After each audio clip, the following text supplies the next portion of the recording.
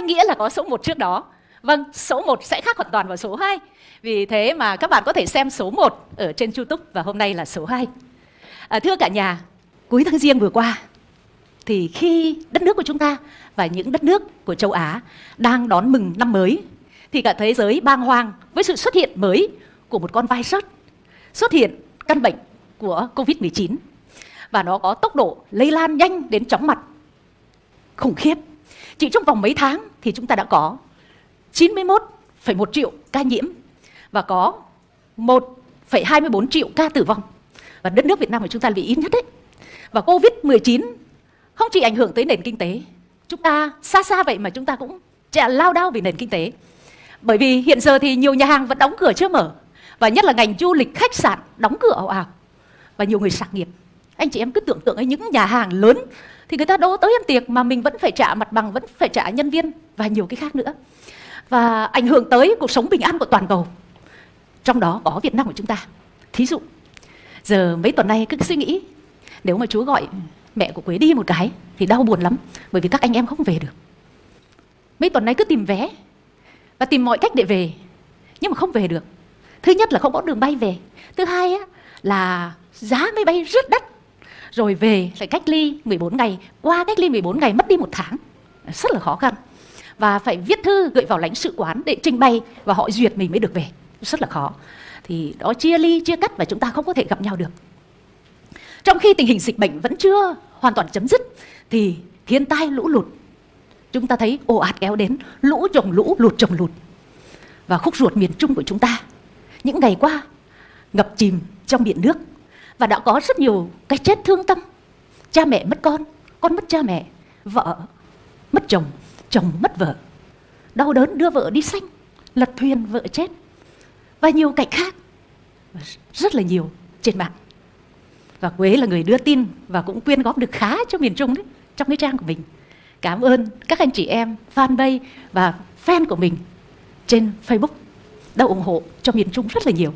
Cái số này mình không công bố ra rất là nhiều âm thầm làm vậy thôi. Và lũ quét đi tất cả. Quét đi sinh mạng quét đi nhà cửa hoa màu. Và con người cảm thấy chơi vơi và trống rỗng. Điều này một lần nữa nhắc nhở chúng ta rằng thân phận con người thật mong manh biết giường nào. Và anh chị em biết, cho dù khoa học ngày hôm nay càng ngày càng phát triển, con người rất giỏi, con người có thể lên tới cung trăng, có thể xuống tới lòng đất để chế ngự được thiên nhiên và vũ trụ.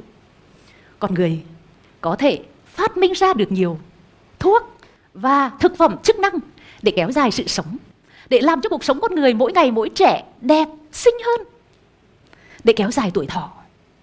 Và thậm chí rằng con người có thể dùng phẫu thuật để chuyển giới từ nam qua nữ và từ nữ qua nam và làm cho cuộc sống sung túc hơn nhưng mà con người cũng có thể dùng trí thông minh của mình để giết hại nhau. Để giết hại các dân tộc chủng loài.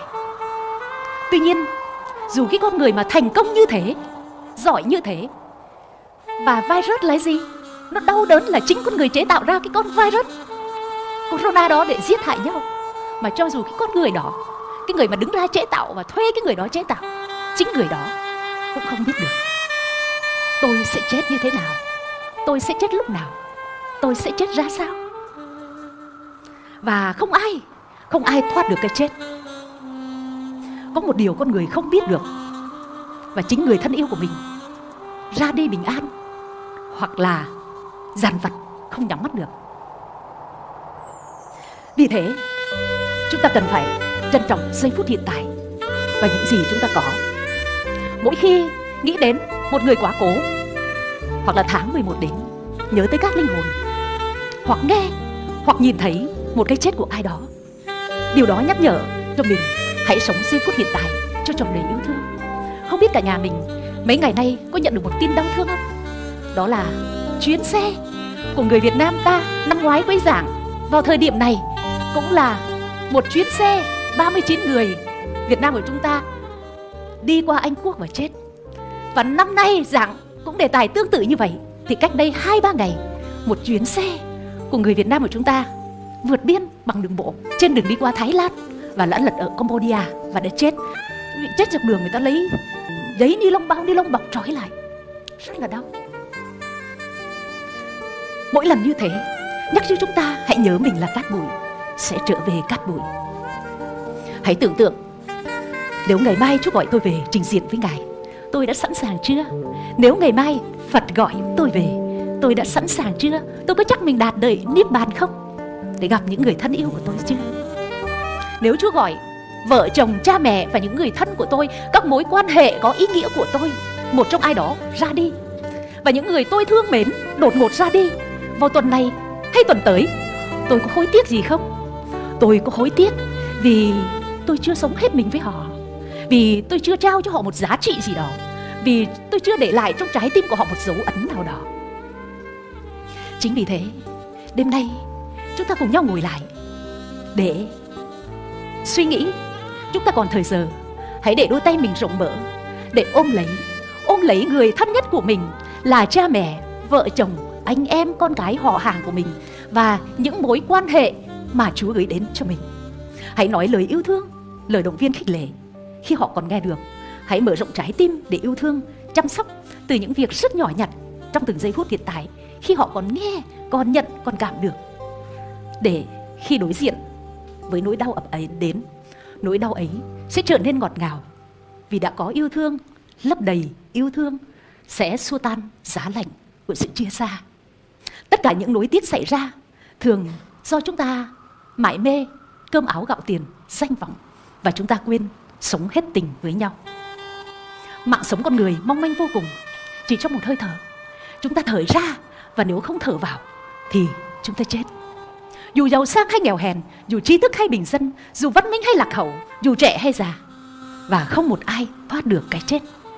Kẻ trước người sau, chúng ta sẽ ra đi và tất cả chúng ta đều bình đẳng. Chúng ta nghĩ lại cuộc sống của chúng ta đi. Chúng ta làm chúng có nhiều tiền mà. Và tiền đó chúng ta dành rất nhiều chi phí, chi tiêu trong cuộc đời của mình. Từ ăn mặc, học hành, đi lại. Nhưng chúng ta học rất nhiều. Có nhìn xuống thấy một số anh chị em đây là đã gặp trong một số lớp, sẵn sàng bỏ tiền ra, cả trăm triệu để học những môn phát triển bản thân, học làm giàu. Nhưng có một điều chúng ta không học, đó là chuẩn bị cho chuyến đi cuối cùng của mình. Và chuyến đi đó, ai cũng phải đến. Thậm chí rằng chúng ta không dám nghĩ tới vừa rồi các chị nhắn tin là sợ ơi, con con đã đi dự khóa chết thử. Và con học rất là nhiều ở ngoài, con cảm thấy rất là giá trị. Và xong ở bên sơ lấy quá rẻ như vậy? Con muốn giới thiệu với bạn bè tới, nhưng mà nói chết cái là nó sợ nó không đi. Rất nhiều người không đi. Nhưng thực sự vào trong chẳng có gì ghê gớm cả. Vào trong chẳng có gì ghê gớm cả, để dạy chúng ta sống ý nghĩa. Chính vì thế mà mỗi năm, chương trình chuyên đề giáo dục mở một khóa huấn luyện chết tự sống thật để giúp cho mọi người có kiến thức và lựa chọn cuộc sống bình an, hạnh phúc. Đây là khóa huấn luyện rất là chất lượng và tốn kém. Và tuần tới sẽ tổ chức vào ngày 14 15 tuần tới. Sẽ phải tốn tiền thuê trại hòm về đấy? Thì cho nằm vào hòm để cho biết nằm vào hòm nó sướng như thế nào. chết cũng thể chết cho đã. chết mà vẫn mở miệng mỉm cười bởi vì không dám tổ chức nhiều, anh chị em biết là giờ Mỹ này, Canada và nhiều tiểu bang Mỹ họ theo dõi và họ nói rằng, mời cái team này đi qua Mỹ để làm. Nhưng mà anh chị em tới tham dự mới thấy là sơ không đưa đi được vì rất là tốn nhiều người để giúp cho anh chị em qua những cái trải nghiệm như thế này. Và hiện giờ Việt Nam thì duy nhất ở đây làm sang năm thì vì Covid sơ không đi Mỹ thì có thể là sơ làm hai khóa khóa vào mùa chay và khóa vào tháng các linh hồn là tháng 11 khi càng tiến gần tới cái chết, người ta càng dễ dàng rũ bỏ được tất cả những chuyện không đáng và chỉ còn lại những điều thực sự quan trọng hay bản thân mình thực sự mong muốn mà thôi. Giờ đây, anh chị em hãy nghĩ, hãy nhớ lại trong các mối tương quan của mình. Chắc chắn ở đây, ai cũng có những người mình biết, mình quen biết, mình thân yêu, ra đi rồi phải không ạ? Ai có rồi giơ tay lên cái coi nào? Ai đã có những người mình thân thương, ra đi rồi đã giơ tay, giơ cao chúc như chưa như vậy đã thoải mái, làm gì làm hết mình? Hầu hết rồi bỏ xuống. Anh chị em đều có nhé giờ chọn trong các mối tương quan, người thân yêu mình chết. Hãy nhớ lại một người người đó ra đi rồi và làm mình khóc. Mình chảy nước mắt. Mình khóc mình khóc. Có khi là khóc nước mắt ra ngoài và có khi mình nuốt nước mắt vào trong. Họ là ai? Và tại sao bạn lại khóc ạ? Họ đã để lại dấu ấn gì trong trái tim của bạn? Hoặc là họ để cho bạn bài học gì? Mời các bạn đứng lên và tìm một người lạ để chia sẻ cái đó. Chúng ta hai người chia sẻ nhau chỉ được 3 phút thôi ạ tới bắt tay người đó và nói cái câu đó.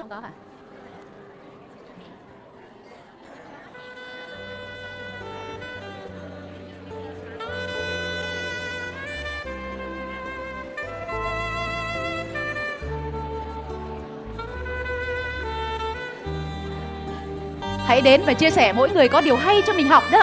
Đừng có ngại nha.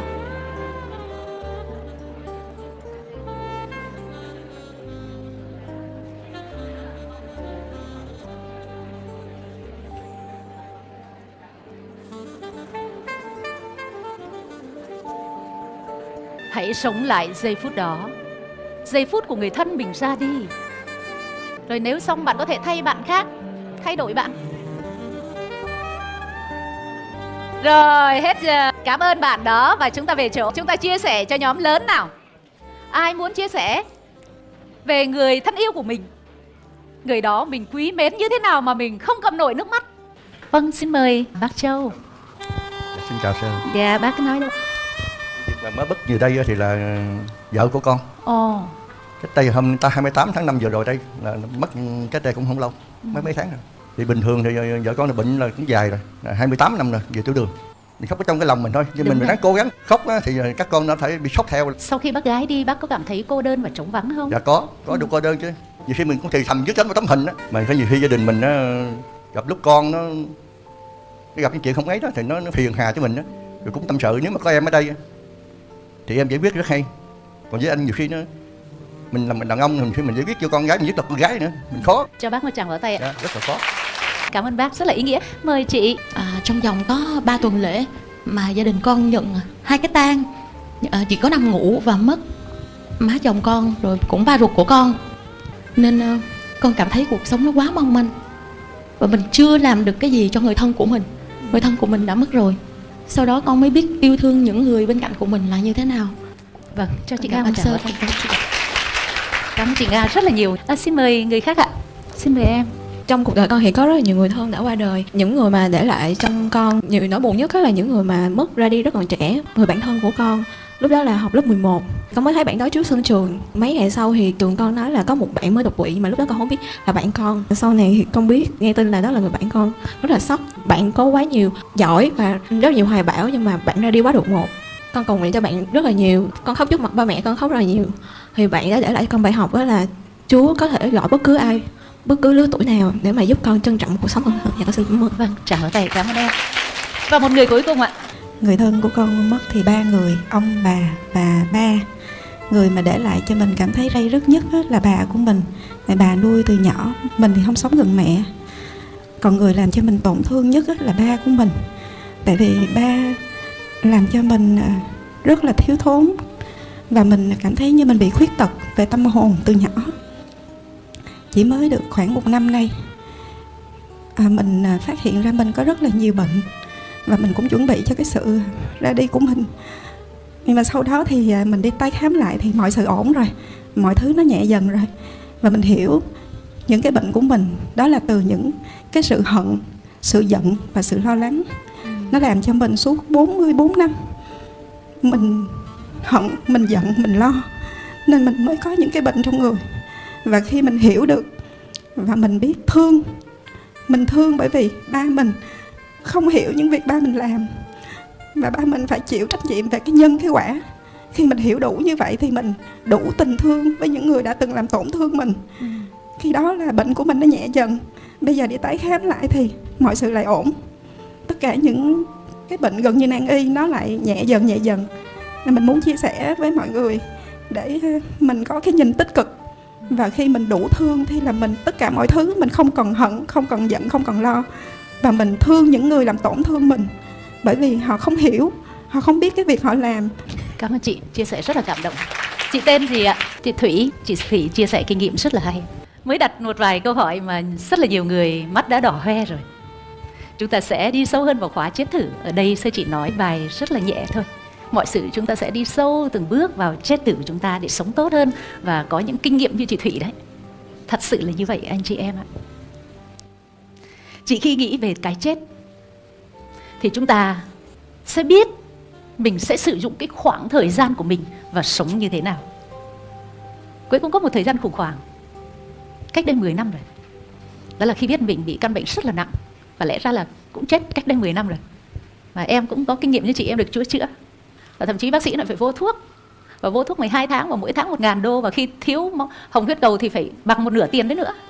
Sau đó mình suy nghĩ nếu mà như vậy thì giáo dân của mình, họ nghèo, họ không có tiền, họ chết hết à? mình đi tìm một cái con đường khác, đó là con đường tâm linh và mình đã được chữa lành. Nhưng mà trong thời gian đó, căn bệnh đó đã dạy cho mình rất là nhiều bài học, để mình sống cuộc đời có ý nghĩa. Vậy thì khi nghĩ tới cái chết, thì bạn hãy tưởng tượng bạn chết, bạn muốn người khác nói gì, nghĩ gì, nhớ gì về bạn? Bạn đã trao đi giá trị gì cho đời? Và khi mọi thứ tan vào hư không vô, bạn muốn bạn là ai trong mắt của người khác? Bạn muốn người khác nghĩ mình là một người tốt, là một người tử tế, là một người lương thiện, là một người gieo hạt, gieo, trao đi giá trị cho cuộc đời? Hay là chỉ là một người lo kiếm tiền, có địa vị nhưng vô cảm và sống hời hợt? Bạn thân mến, mỗi người chúng ta chúng ta không biết là mình sẽ sống được bao lâu? 90 tuổi hoặc là thậm chí là có hai mấy tuổi như các em ngồi dãy đầu ở đây, chúng ta không biết. Nhưng mà chúng ta đều giống nhau, chúng ta đều có quyền giống nhau trong quỹ thời gian trong một ngày. Trong một ngày, chúng ta có 1440 phút và mỗi tuần chúng ta có 168 giờ. Chúng ta hơn nhau ở chỗ là chúng ta biết sử dụng thời gian của mình như thế nào cho hợp lý. Khi bạn ý thức được cuộc đời này ngắn ngủi và có thể kết thúc bất kỳ lúc nào, tôi tin chắc bạn sẽ biết mình phải sống như thế nào. Và ưu tiên cần làm gì? Và mối quan hệ nào chúng ta cần vun đắp và nắm giữ? Và mối quan hệ nào chúng ta cần buông bỏ đi? Nếu mối quan hệ đó làm chúng ta đau khổ, thì chúng ta cần buông đi. Và bạn biết mình phải đầu tư thời gian, công sức của mình vào việc gì? Bạn cũng sẽ nhận ra rằng ngay bây giờ, ngay bây giờ chính là thời điểm thích hợp nhất để bạn bắt tay vào làm những việc cần làm, học những lớp cần học, đọc ngay quyển sách cần đọc. Và một điều quan trọng bạn phải làm ngay, đó là dành nhiều thời gian hơn cho gia đình của mình, cho người bạn thương mến. Đừng chần chừ, hãy gọi điện ngay cho bố mẹ đang ở xa. Hãy viết thư, ngay lá thư mà bạn muốn gửi. Tiền cần dâng hãy dâng ngay. Và nếu có ai đó đến cầu cứu bạn giúp đỡ, hãy giúp đỡ ngay. Vì đời ngắn lắm. Đừng trượt dài. Vì thời gian cho những chuyện vô bổ và vẩn vơ. Hãy nói lời yêu thương khi bạn còn làm được. Và nếu có cơ hội làm chứng cho Chúa, hãy làm chứng và hãy nói ngay. Nhiều khi chúng ta cứ nghĩ rằng chuyện làm chứng sống đời công giáo hoặc giới thiệu Chúa cho người khác hoặc nói kinh thánh chuyện đó là chuyện mấy ông cha bà sơ. Không phải chuyện của tôi, tôi là giáo dân tôi không phải. Chúng ta đã sai rồi. Chúng ta đều được mời gọi và làm chứng cho Chúa trong cuộc sống của mình. Ngay bây giờ, ngay hôm nay. Nếu bạn còn có thể nghe được Ngài mời gọi. Nếu bạn cứ mãi chần chừ thì ngày mai, ngày mai có thể không bao giờ đến. Hôm nay bạn đứng nghe người khác cầu cứu của bạn, nhưng ngày mai chưa chắc họ đã cần đến bạn. Hoặc bạn không có khả năng giúp đỡ nữa và hãy luôn cảnh báo bản thân, tất cả chúng ta, thời gian của chúng ta sắp hết. Cuộc đời rất ngắn, vì thế đừng chần chừ và do dự. Đừng lưỡng lự bạn thân mến hãy tưởng tượng, trên tay bạn đang cầm một cốc cà phê. Một cốc cà phê trên tay, và ai đó vô tình đụng vào bạn, thì cốc cà phê đó có thể đổ ra. Hoặc là trên tay bạn đang cầm một tách trà, và có ai đó đi lại đụng vào bạn, thì tách trà đó sẽ đổ ra. Nói cách khác trong cái cốc của bạn có gì thì khi bị cuộc đời xô vào thì thứ đó sẽ đổ ra. Con người chúng ta cũng vậy. Khi cuộc đời cho chúng ta một cú hích, nếu trong bạn toàn là tức giận, than vãn, oán trách thì những thứ ấy sẽ văng ra và sẽ thể hiện ra bên ngoài. Ngược lại, nếu trong bạn tràn đầy lòng biết ơn, tình yêu thương, bình an, bao dung tha thứ thì khi đó cuộc đời va vào bạn, chắc chắn những điều tốt đẹp đó sẽ được tung ra đời. Vì vậy, trong bài chia sẻ đêm nay, sơ muốn gửi đến các bạn ba thứ bạn cần đổ đầy tâm trí của mình. Những điều tốt đẹp để khi bạn lìa xa cuộc đời sẽ đã là một ngày bình an và bạn không hối tiếc. Ba điều đó đó là sống lòng biết ơn, sống tha thứ và sống yêu thương. Xin mời cả nhà đọc cho sơ có ạ. Sống lòng biết ơn, sống tha thứ, sống yêu thương. Vâng, điều đầu tiên là bạn cần đổ đầy tâm trí của mình mỗi ngày chính là lòng biết ơn. Albert Einstein, một nhà khoa học lỗi lạc của nhân loại vào thế kỷ 20 và ông đã nói chỉ có hai cách để sống cuộc đời của bạn. Một là coi như phép màu không có thật, hai là coi như mọi thứ đến với mình như là một phép màu. Chính vì thế, ông luôn thực hành nói lời cảm ơn cảm ơn trong một ngày cả trăm lần. Và ông cho rằng điều đó là thể hiện lòng biết ơn với những gì ông nhận được và đó là bí quyết thành công của ông. và những người nổi tiếng những người thành đạt và các thánh luôn là những người biết nói lời cảm ơn và biết nói lời tạ ơn. Vậy còn bạn, mỗi ngày chúng ta có 86.400 giây mỗi ngày. Chúng ta đã sử dụng bao nhiêu thời gian để đổ đầy tâm trí mình với lòng biết ơn? Truyền thuyết cứ kể rằng có hai người đàn ông trên đường đi lên thiên đàng. Đường đi lên thiên đàng thì cũng vất vả lắm, bởi vì đi ngoằn ngoèo, đi ngoằn ngoèo và đi rất là xa. Trên đường đi lên thiên đàng vậy thì hai người đàn ông này nói là nói là trên đường lên thiên đàng thì thượng đế xuất hiện và khi thượng đế xuất hiện thì thượng đế đưa cho hai người hai đĩa cơm. Người thứ nhất nhận được một đĩa cơm, cảm động quá vì đói lạ cả mấy ngày nay rồi tưởng là chết dọc đường không lên nổi thiên đường mà. Bây giờ được một suất cơm cảm động quá và anh ta đã quỳ gối xuống, thầm cảm ơn cảm ơn thượng đế và ăn ngon từng tí và trong nước mắt bởi vì mình được cứu sống. Và biết ơn lắm nhưng cũng suất cơm đó đưa cho một người thanh niên thứ hai đây. Anh này ăn ăn ngấu, ăn nghiến và không hề nói một lời cảm ơn và coi như chuyện cung cấp cơm cho người này là đó là bổn phận của thượng đế. Ăn xong, hai người đi tiếp, đi lên thiên đàng. Và đi lên tiếp lên thiên đàng thì tới cổng thiên đàng. Thánh phêrô mở cửa ra và các thiên thần ra đón đón người có lòng biết ơn vào và cửa thiên đàng đóng sập lại. Người kia ở ngoài. Và anh ta ngạc nhiên tại sao? Ở dưới trần gian tôi cũng sống tốt mà tại sao mà lên đây tôi không được vào mà anh này được vào? Chúng tôi cùng một hành trình đi lên thiên đàng. Và người này thắc mắc là tại sao tôi không được vào thiên đàng? Thánh phêrô nói rằng người không có lòng biết ơn. Người này lại hỏi tiếp, trời ơi, có mỗi bát cơm mà không có cảm ơn mà có sự khác biệt như thế à? Thánh phêrô nói rằng, không phải là không nói được lời cảm ơn, nhưng mà trong lòng ngươi không có tâm hồn biết ơn. Cho nên ngươi không nói ra được. Người không biết cảm ơn, không biết yêu thương người khác, cũng không được người khác yêu thương và thượng Thánh Phêrô lại nói tiếp. Biết làm sao được bây giờ? Bởi vì con đường lên thiên đàng Được rải bằng lòng biết ơn. Và cửa lên thiên đường chỉ có lòng biết ơn mới mở được. Nhưng mà con đường xuống hỏa ngục Thì không cần. Trong cuộc sống hàng ngày, Chúng ta thường dễ quên đi Bàn tay yêu thương của Chúa. Chúng ta thường dễ quên đi những người khác Làm ơn cho mình. Và chúng ta thường hay chỉ trích, trách móc và trở nên vô ơn. Một cái thí dụ như thế này. Thí dụ trong một năm các bạn ở đây ai quỳ gối xuống hoặc đứng hoặc ngồi để tạ ơn Chúa về cơ thể của mình 5 phút thôi ai thường làm xuyên cái đó bao nhiêu lần nhưng mà khi chúng ta đau mắt một cái chúng ta la toáng cho mọi người biết chúng ta đau răng một cái chúng ta la toáng nhưng mà khi bình thường có răng chúng ta không biết cảm ơn và chúng ta có mắt chúng ta cũng không biết cảm ơn nhìn được thấy ánh sáng chúng ta không có cảm ơn và chúng ta coi như chuyện đó là chuyện bình thường và chúng ta không cảm ơn cha mẹ đã sinh chúng ta ra một cơ thể một con người rất là tuyệt vời trong hội trường này đâu có ai khuyết tật không có tay đâu, không có chân đâu. Nhưng mà liệu chúng ta có cảm ơn không? Vì thế mà lòng biết ơn có một sức mạnh kỳ diệu. Đó là sự tỉnh thức của tâm hồn, là trí nhớ của con tim, là con đường dẫn đến hạnh phúc và mở ra cánh cửa cho chúng ta về thiên đàng. Nếu sống một lòng biết ơn, bạn sẽ được giải thoát khỏi dục vọng và biến những điều mà bạn có thành đủ, biến hận thù thành chấp nhận, sự hỗn loạn thành trật tự và nhầm lẫn trở nên rõ ràng sẽ cảm thấy rất là hạnh phúc và được thay đổi khi sống và học một chương trình 28 ngày của lòng biết ơn. Ngày nào cũng học. Một chương trình biết ơn học 28 ngày. Và mỗi ngày một đề tài và về phải làm bài và phải thực hành. Và sau đó mình cảm thấy rằng sống rất là hạnh phúc. Mình chấp nhận những gì mình có. Lòng biết ơn chính là phép màu để cải thiện mối quan hệ. Và khi xảy ra cãi vã, xung đột với một ai đó thì làm sao ạ? Thì chúng ta nhớ lại những điểm tốt người đó làm. Chúng ta thường hay tập trung vào một chấm đen trên màn hình trên tờ giấy trắng. Mà chúng ta quên rằng có cả một nền trắng đó. Chúng ta thường hay tập trung vào một điểm xấu khi người đối phương không ưa ta, làm xấu ta. Và ta quên mất bao nhiêu điều họ tốt đẹp ta cho vào sọt rác hết. Đúng không ạ? Chúng ta hay làm như vậy và chúng ta khổ. Và chúng ta không biết ơn và thay vào đó chúng ta đổ lỗi họ. Đổ lỗi càng nhiều, mối quan hệ càng xấu. Và cuộc sống của bạn cũng theo đó mà càng tệ đi.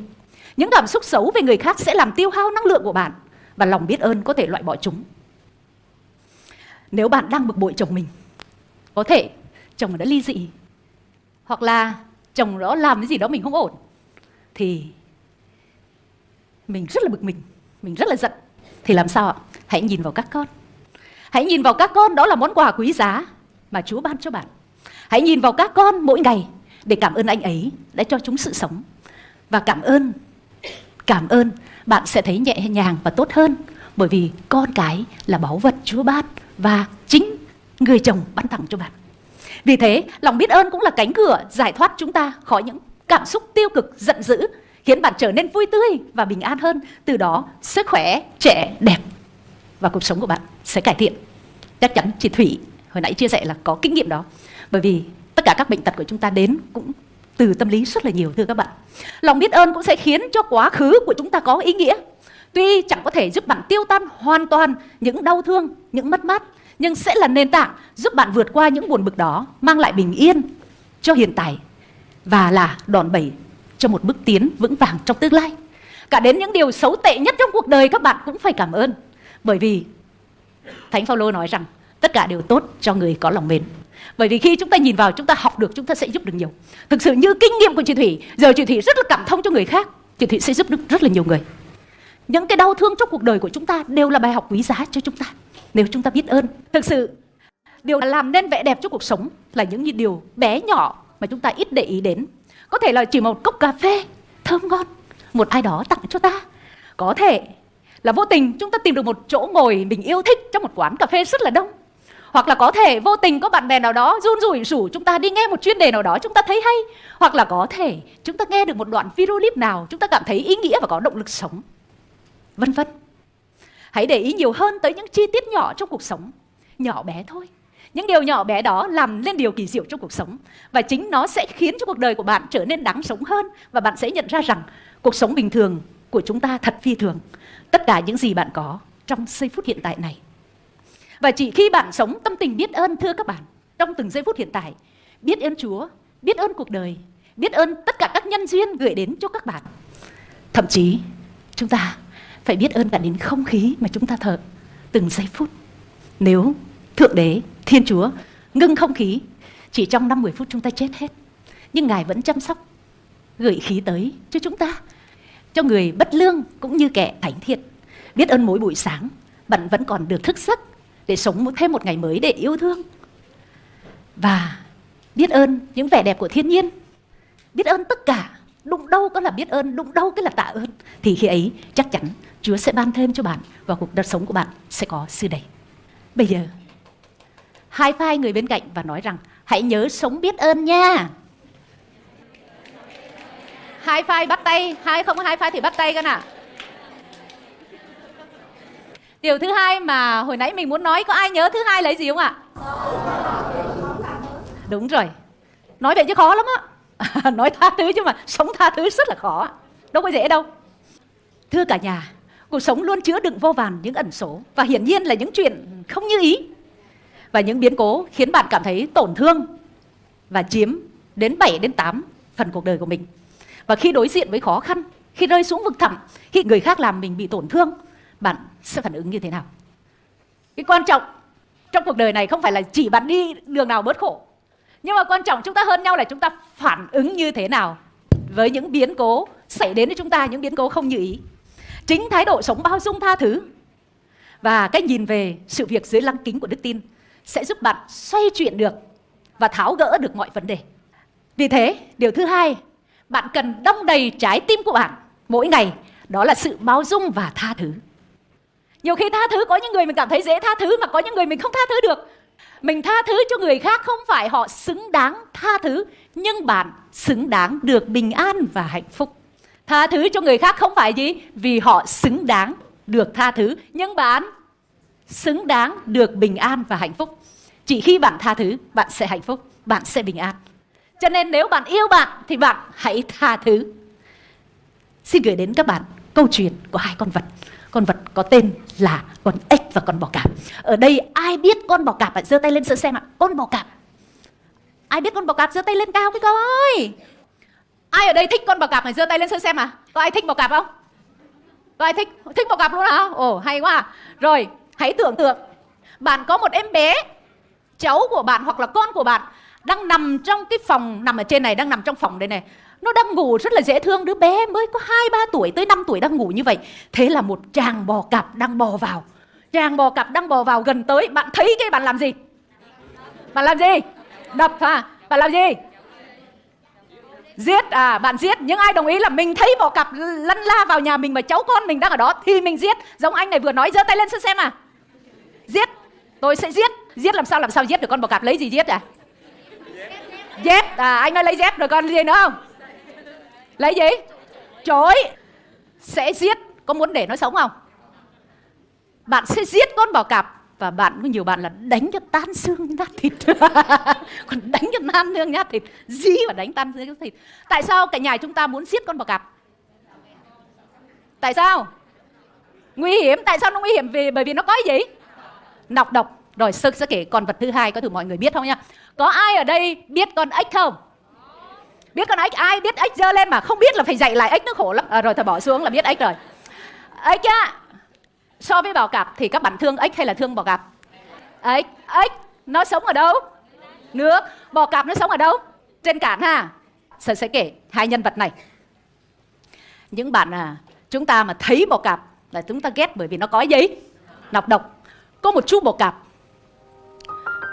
dựng nhà ven sông. Thì một ngày đẹp trời nọ, bò cạp định qua bên sông kia chơi.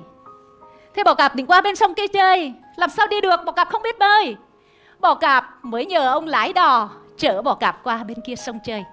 Bác lái đò chở bò cạp qua. Bên này đẹp quá. Bò cạp bên này là bắt bướm hái hoa. Bên này quá tuyệt vời, bò cạp chơi, bò cạp chơi, nhảy chơi tung tăng và quên mất giờ về. Thế là nhìn thấy tối, nhìn về nhà bên kia. Trời ơi, nhà bên kia, nhà của tôi đang cháy. Mà giờ này trễ rồi bò cạp đấy trời ơi, có ai nữa không? Bác lái đò ơi, chở tôi về bên kia. Bò cạp tá hỏa và muốn về nhà không làm sao về được. Bò cạp nói, ai ơi, có ai không đưa tôi về nhà với? Bò cạp ngó xuống sát bờ sông đó có chú ếch. Thế là bò cạp nói, ếch ơi, ếch chở tớ về bên kia với. Ếch nói, không, tớ sợ lắm. Cậu cậu biết, tớ không chở đâu. Làm ơn chở tớ về đi, ếch ơi, tớ năn nỉ nhà tớ cháy kìa. Ếch nói, không, tớ không chở đâu. Tớ nói, thật đó cậu có cái nọc độc á cậu mà chích vào thì chơi, tớ chết. Thế là bò cặp, năn nỉ mà trời ơi, làm sao được? Nhà tớ cháy và cậu có biết là trong nhà tớ có ông cố nội, ông cố ngoại, ông cháu chắc và con cái rất là đông, trong đó mà cháy cháy hết cả gia tài, hết cả dòng họ tớ, làm ơn chở tớ về đi. Ấy, cũng cảm thấy mũi lòng nhưng mà ấy nói, không tôi sợ lắm. Cậu à mà trích tớ một cái là tớ chết. Bò cặp nói ếch ơi làm sao tớ có thể trích ân nhân của mình được? Ếch là ân nhân ếch ơi, tớ không biết bơi. Làm ơn chở tớ về để cứu ông bà, cha, mẹ, cháu chắc và vợ tớ trong đó nữa. Ếch mùi lòng, ông à. Thôi được rồi, lên đây đi, mà nhớ nha, không được chích vào tớ. Cậu mà chích vào tớ tớ chết, cậu cũng chết luôn. Thế là ếch này lên lưng đi. Mà nhắc lại bảo cắm ừ sức mấy mà tớ tớ không chích đâu. Tớ đi, lên lưng, bắt đầu lên lưng, bơi. Bơi đi, vừa đi một chút, ếch nó không yên tâm. Không yên tâm, nè nè, nói nha, chớ chích vào tớ nha, ngồi yên đi, chớ chích vào tớ. Bơi bò cắn ơ không có chích đâu cậu là ân nhân mà. Đi đi. Thế đi một tí. Bò cặp vẫn hướng về nhà đầy hứa hẹn. Chở tớ về đi. Tớ không trích đâu. Đi ra một đoạn nữa, chuyện gì xảy ra? Sóng gió nổi lên. Và khi sóng gió nổi lên đối với ếch ở dưới nước ếch không có sợ. Nhưng bò cạp ở trên khô, bò cạp rất là sợ. Bò cạp sợ quá. Ôi trời ơi, sợ quá ếch ơi. Bò cạp càng bấu chặt vào. Xong ếch lại, ngồi yên đi, chuyện gì vậy? Ngồi yên bình tĩnh tới trở về. Lại bơi ra bơi ra giữa dòng đời một chút nữa. Các bạn biết chuyện gì không? sóng gió nổi lên, càng nổi lên cao bò cạp càng sợ ôi trời tôi sợ quá. Thì khi sợ như vậy bò cạp lấy hai chân của mình bấu vào hông ếch để giữ thăng bằng. Và khi bấu vào ếch nói ê, ê làm gì làm tớ đau đấy? Ngồi yên ngồi yên đi yên tâm tôi chở tớ về. Ừ, ừ nhưng mà tớ sợ quá ấy trời tớ sợ quá. Ngồi yên tôi trở về đi tiếp càng đi tiếp thì sóng càng lên. Và sóng càng lên bò cạp càng sợ thì nó lấy hai chân nó bấu chặt phập vô người của ếch và tự thân con bò cạp tiết ra nọc độc. Ếch nói ôi trời tôi hứa không có chích mà giờ lại chích rồi, đau quá. Là là ờ, tớ chết cậu chết luôn. Bỏ cạp này. Tôi xin lỗi, ếch ơi. Tôi không biết tớ làm gì nữa. Tôi không làm chủ được. Tôi sợ lắm tôi xin lỗi. Và giờ đây, ếch chồng chành chồng chành. Và bỏ cặp cũng chồng chành theo ếch và hai đứa rơi xuống đại dương và chết đi.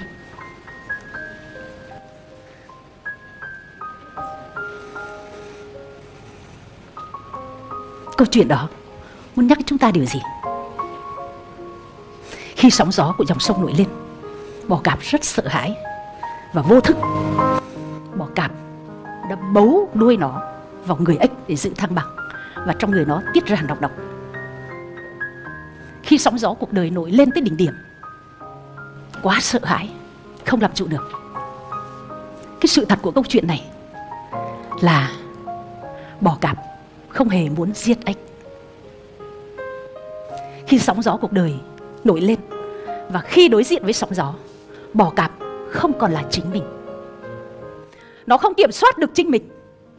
Và trong giây phút đó, trong giây phút nó không kiểm soát được chính mình, nó đã trích nọc độc vào ân nhân của mình là ếch và khi nó giết hại ếch cũng chính là lúc nó giết hại chính mình. Câu chuyện nói lên một điều thế này.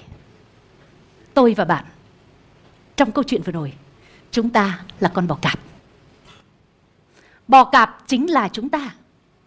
Bò cạp chính là ai? Bò cạp chính là tôi.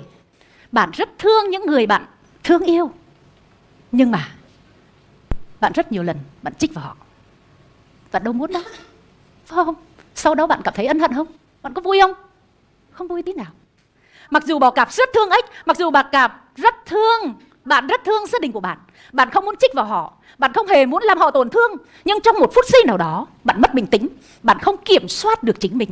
Bạn đã dùng nọc độc của mình. Đó là những câu từ lời lẽ cay nghiệt. Bạn trút lên người bạn thương mến nhất. Khi hai người cãi nhau, bạn đã trích thẳng vào người bạn đời của mình. Cũng giống như con bò cạp đấy hãy xét mình lại. Những việc mình đã làm, những thái độ, những câu nói mà bạn đã trích vào người thân yêu của mình.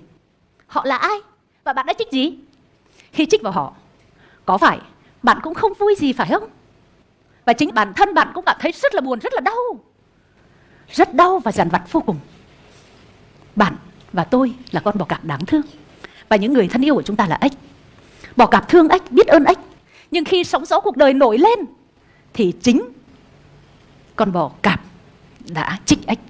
Bạn không giữ được bình tĩnh bạn đã trót dùng nọc độc của mình để trích vào người thân yêu. Tất cả những gì diễn ra trong quá khứ là việc nên diễn ra. Những con người mà bạn gặp trong quá khứ là những con người bạn nên gặp. Những dữ kiện nào hạnh phúc sẽ tiếp thêm sức mạnh năng lượng cho cuộc sống của bạn. Nhưng những dữ kiện nào đau buồn nó là bài học rèn luyện bạn và tôi trưởng thành hơn. Vì vậy, chúng ta cần tha thứ đầu tiên là tha thứ cho chính mình. Bởi vì bạn chỉ là con bọ cạp đáng thương khi không kiểm soát được bản thân mình, bạn đã làm tổn thương người khác.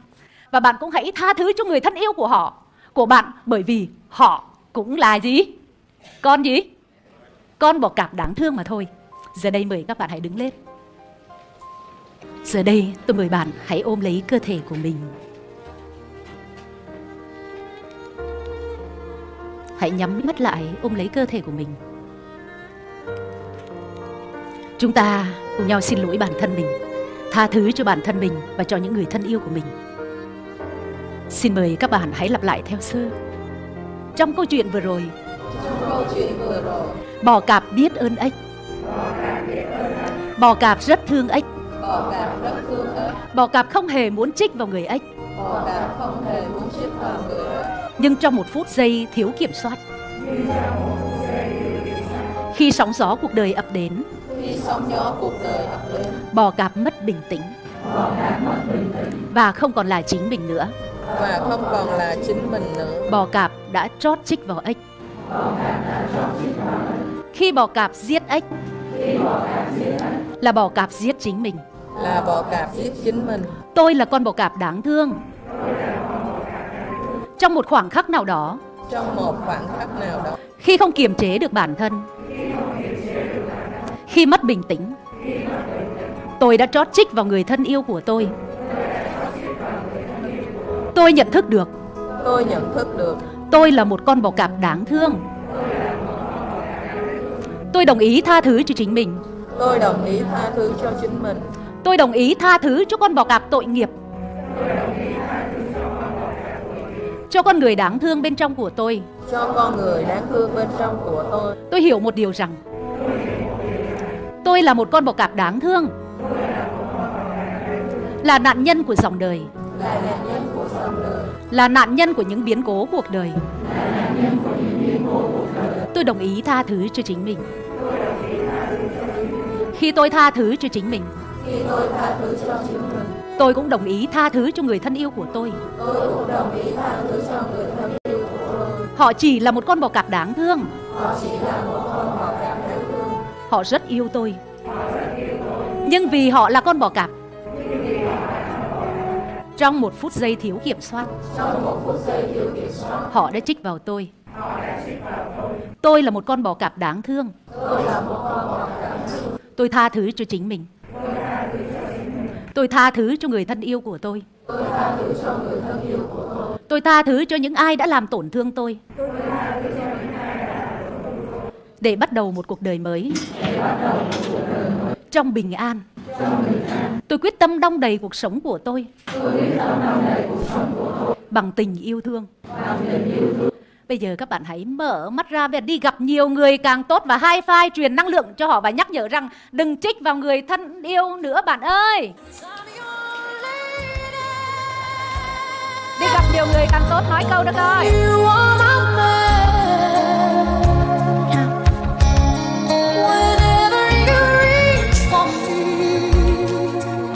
Người càng tốt nào. Hai phai truyền năng lượng với họ và nói đừng trích vào người thân yêu nữa bạn ơi.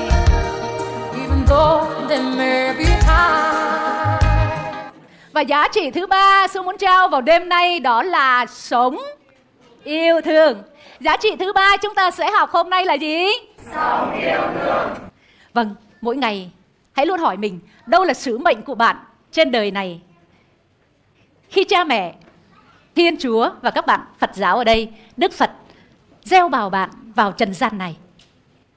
Đâu là sứ mệnh của bạn? Chẳng lẽ bạn chỉ sinh ra lớn lên ăn học làm việc lập gia đình sinh con đẻ cái già yếu và chết đi chỉ thế thôi à? Nếu mà như vậy thì cuộc sống buồn quá, lãng xẹt quá phải không? Việc bạn có mặt trong cuộc đời này để làm gì? Thưa để cống hiến, để trao đi giá trị. Khi có một lý tưởng cao thì bạn sẽ có động lực để làm, để học, để không ngừng trau dồi kiến thức, để làm tốt cái khả năng, cái giá trị mà bạn có thể trao đi được cho người khác. Bởi vì chúng ta cần có phải lấp đầy của mình chúng ta cần có chúng ta mới có thể cho đi được mới có thể đóng góp mới có thể chia sẻ mới có thể cống hiến. Thánh augustino nói một câu rất là hay bạn không thể nào cho đi cái bạn không có. Khi bạn không có đủ yêu thương lòng trắc ẩn sự trân trọng một con người gần gũi và quan trọng nhất đó là chính bạn thì bạn liệu bạn có khả năng mang lại những giá trị đó cho người khác không và hãy yêu thương và hãy trân trọng chính mình trước để có thể yêu đời, yêu người một cách sâu sắc nhất. Đạo Công giáo chúng ta có một câu nói rất là hay, đó là hãy yêu người như gì? Yêu người như chính mình, nhưng mà mình không yêu mình thì mình không biết yêu người khác. Ở bên trong bạn có sẵn cả một suối nguồn trí tuệ mà Chúa ban cho bạn rồi. Nơi đó cất giữ mọi câu trả lời, những gì bạn đang tìm kiếm. Vì vậy, mỗi ngày bạn hãy dành thời gian tĩnh lặng. Hãy đi vào bên trong để kết nối với chính mình và kết nối với Chúa. Như thí dụ chiều hôm nay sơ thấy là ở bài mình soạn mình trước bây giờ soạn bài không đủ bài, nhưng mà mình quyết định bỏ thời gian đi vào nhà nguyện ngồi đó với Chúa thôi. Nói Chúa ơi, tối nay con sẽ đến chia sẻ với mọi người mà con cũng thấy chưa ổn lắm mà con thay vì dành giờ coi bài con vào đây với Chúa và Chúa đặt để trên môi miệng con điều gì cần nói với anh chị em những người đến đêm nay con không biết hết họ là ai chưa biết bởi vì mỗi chuyên đề là thay đổi khán giả nhưng mà Chúa biết con yêu mến họ và con muốn trao một giá trị gì đó. Hãy tĩnh lặng và kết nối bên trong. Hãy để mình kết nối với Chúa và hãy để Ngài sạc đầy năng lượng cho bạn nơi cội nguồn ấy. Đó là nơi duy nhất bạn có thể làm và giúp bạn nhận ra mọi thứ. Chính vì thế, các khóa huấn luyện của chương trình chuyên đề khác ở ngoài kia đó là về tâm linh. Bởi vì cho dù người thầy giỏi như thế nào cũng không dạy nổi bạn đâu. Bạn phải có một người thầy giỏi hơn những người thầy ở trần gian. Người đó dạy cho chính bạn luôn. Bạn hãy kết nối đúng cái nguồn đó luôn. Bóng điện không thể nào phát sáng được nếu không kết nối được với nguồn điện. Bạn phải kết nối chính với nguồn điện đó là nơi duy nhất để lấp đầy trái tim bạn và ánh sáng, trí tuệ để giúp bạn sống đúng. Cuộc sống này không chỉ riêng chúng ta. Chúa không dựng bạn để cho bạn và cho người khác. Chúng ta đến trong cuộc đời này không phải chỉ cho mình và cho gia đình chồng vợ con mình thôi không đủ. Thưa các bạn, các bạn hãy nghĩ xa hơn một chút nữa đi. Các bạn làm được. Hồi xưa Sơ không nghĩ là Sơ đứng lên đây nói mà như vậy đâu. Trong nhà dòng Sơ tới từ thời Sơ đi tu mà tới giờ này này. Không có ai mà dở và tệ như Sơ. Các bạn nói là mình không có nói điêu đó Các bạn trở về lại nghe những Sơ hồi xưa nhận mình vô tu Mình không đọc được luôn các bạn Không đọc được luôn Đọc sách thánh đâu đọc được đâu mà mình nghĩ mình không tu được nhưng mà khi Chúa làm Chúa sử dụng. Cuộc đời này không phải là của uh, linh cũng không phải là của phương cũng không phải là của uh, phương khanh không phải là của xuân hương không phải là của anh hải không phải của chị huyền không phải là của bill gates không phải của donald trump. Chúng ta có thể vẽ ranh giới như thế nhưng không phải thế. Vấn đề là chắc chắn có một ý nghĩa nào đó khi Chúa gieo chúng ta vào trần gian này để tạo ra một ý nghĩa gì cho cuộc đời. Chúng ta sống cuộc đời mình nhưng cũng là sống cuộc đời cho những người xung quanh nữa. Sự có mặt của chúng ta tạo ý nghĩa gì cho người khác? Sự có mặt của chúng ta trong cuộc đời này mang lại ý nghĩa gì cho người khác? Đây là câu hỏi chúng ta cần hỏi mình mỗi ngày trước khi đi ngủ. Từ hỏi hôm nay tôi có trao đi giá trị gì cho người khác không? Tôi có làm cho ai đó cười được không? Tôi có làm cho ai đó cảm thấy có một tia sáng, một tia hy vọng không? Tôi có làm gì cho ai đó cảm thấy vui hơn không? Và không cần làm những việc to tát như là cứu cả một dân tộc đập đá vá trời. Những chuyện nhỏ hàng ngày thôi các bạn. Các bạn có thể cứu người khác và cho người khác một ý nghĩa cuộc sống. Những gì chúng ta làm cho người khác sẽ trở thành di sản cho chúng ta trong cuộc đời này. Những điều chúng ta làm cho người khác sẽ động lại như di sản của chúng ta. Điều quan trọng là chúng ta đang tạo ra giá trị gì? Và đôi khi không cần quá to tát. Không phải là cứu cả dân tộc, nhưng hãy bắt đầu từ việc nhỏ trong gia đình, cho hàng xóm, cho những cô bán hàng ngoài chợ mà bạn đi mua hàng mỗi ngày, cho đồng nghiệp của mình hoặc là có những anh chị em trong cộng tác viên chuyên đề, họ âm thầm, họ giúp cho sơ, giờ cả đã 10 12 năm. Đến làm việc mà chẳng cần ai biết đến. Các bạn biết bác bạn ngồi sạch sẽ như vậy, có người lau mà phải tới sớm để lau. Lau ghế, lau bàn, tại vì cái phòng này đâu phải lúc nào cũng sử dụng. Rồi nhất là khóa huấn luyện, vào tuần tới, thứ bảy, nhật tuần tới là họ đã chuẩn bị cả tháng đây rồi. Rồi các bạn thấy nhà vệ sinh không tự nhiên mà sạch, phải có người lau. Vậy thì phải có ai đó ai đó hy sinh để làm những chuyện lặng thầm như thế để tạo một cái team làm việc. Và cái giá trị đó rất là giá trị. Và Chúa nhìn thấy giá trị đó lớn hơn những người đứng lên sân khấu để giảng nữa. Các bạn thấy rằng chúng ta thấy ánh điện sáng. Mà chúng ta không nhớ rằng để có ánh điện sáng này, một cái máy phát điện, nó đang nằm ở trong một góc nào đó, thậm chí là bụi phủ đầy. Mà nếu không có máy phát điện đó, thì nó không thể nào tỏa sáng được. Ngay cả khi chúng ta đau nằm trong bệnh viện, chúng ta có thể trao đi giá trị yêu thương. Sẽ được mời gọi để tới với bệnh viện để cho rước lễ, để tìm người công giáo và hỏi, phòng này có ai có đạo đạo chúa không? Và phòng này có ai đạo chúa? Có mình người hỏi, làm gì vậy cô? Không, tôi đi tìm người đạo chúa. Và hỏi, nếu có đạo chúa, có rước chúa không? Và dẫn họ đi vào đâu có chỗ, đứng một cái góc nào đó và cùng nắm tay nhau cầu nguyện để thêm sức và cho họ được rước chúa ngay trong bệnh viện, thờ lạy chúa trong bệnh viện. Và nói với họ nhắc một câu là, cho dù anh chị em nằm liệt đây, anh chị em mệt như vậy và những người công giáo đi nuôi bệnh hãy tỏa sáng ngay trong phòng của mình. Và những bệnh nhân nhân khác ngạc nhiên, tại sao anh chị này dễ thương quá, chị này dễ thương quá? À thì ra họ là người công giáo, họ rất là tử tế trong bệnh viện. Có đồ ăn họ cũng chia sẻ, họ giúp đỡ những bệnh nhân khác. Ngay cả khi như vậy, chúng ta có thể làm chứng. Và mẹ Teresa nói thế này, việc anh làm không mấy quan trọng, nhưng việc anh đặt vào trong đó bao nhiêu tình yêu mới quan trọng. Vỗ vai người bên cạnh và nói với họ, sống yêu thương, học hoài, học mãi cũng không xong vỗ vai người bên cạnh và nói câu đó, sống yêu thương, học hoài, học mãi cũng không xong.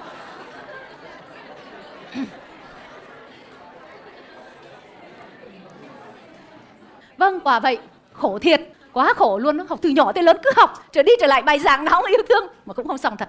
Quả vậy, tình yêu thương chính là chìa khóa, là một di sản dài lâu mà người Kitô hữu, đích thực, phải là người khát khao, có được và cho đi. Được lan tỏa ý yêu thương làm tăng giá trị cho người khác. Bạn đừng trách móc oán hận và hãy thản nhiên với hết thảy và xem mọi chuyện chuyện xấu trong cuộc đời này như gió thổi, như mây bay. Hôm qua sơ được gặp một anh nhạc sĩ, người bạn rất là dễ thương và lâu lắm không làm việc chung với nhau, trước đây hay hát cho chương trình. Và ngồi lại và hỏi kỳ này sống sao, nếu trợn kỳ này nhạc sĩ võ thức sẽ hát sẽ hát vào ngày chết thử. Hai người tới ôn bài để hát cho chết thử nghe. Nếu một mai tôi có qua đời thì người ơi tôi đã sống rất thành thơi. Nếu một mai tôi có qua đời tôi có bay lên trời thì người ơi tôi đã sống rất tuyệt vời. Thì hỏi là lâu lắm rồi không gặp cuộc sống của thức như thế nào? Sơ ơi thức trở về số không. Cái gì cũng dê ro chẳng giận hờn chẳng gì nữa hết cả. Ai khen người ai chê không sao cho nên sống rất bình an. Vì anh nghiệm được hai lần sắp chết sống lại.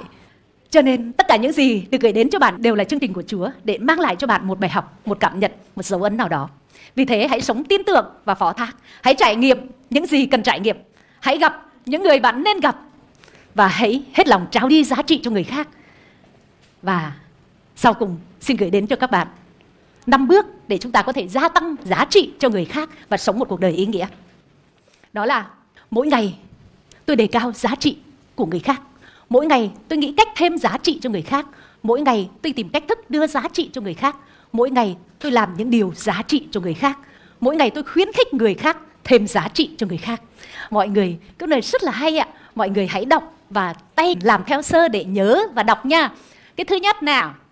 Mỗi ngày tôi đề cao giá trị của người khác. Mỗi ngày tôi nghĩ cách thêm giá trị cho người khác. Mỗi ngày tôi tìm cách vượt đưa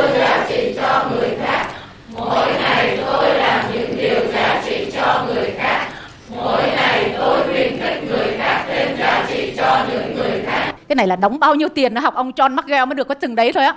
Mỗi ngày tôi đề cao giá trị cho người khác. Chúng ta sinh ra không phải, ai cũng vậy, không có ai là hoàn hảo cả. Mỗi người tài giỏi, thông minh ở một khía cạnh khác. Có người kém hơn khía cạnh này, nhưng giỏi khía cạnh khác.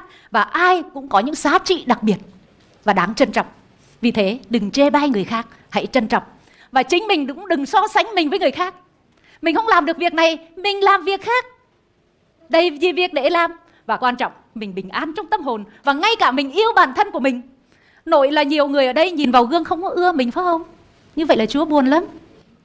Tôi nhìn vào gương thấy là tao không đẹp bằng cái con mẹ hàng xóm. Tao không đẹp bằng thằng kia.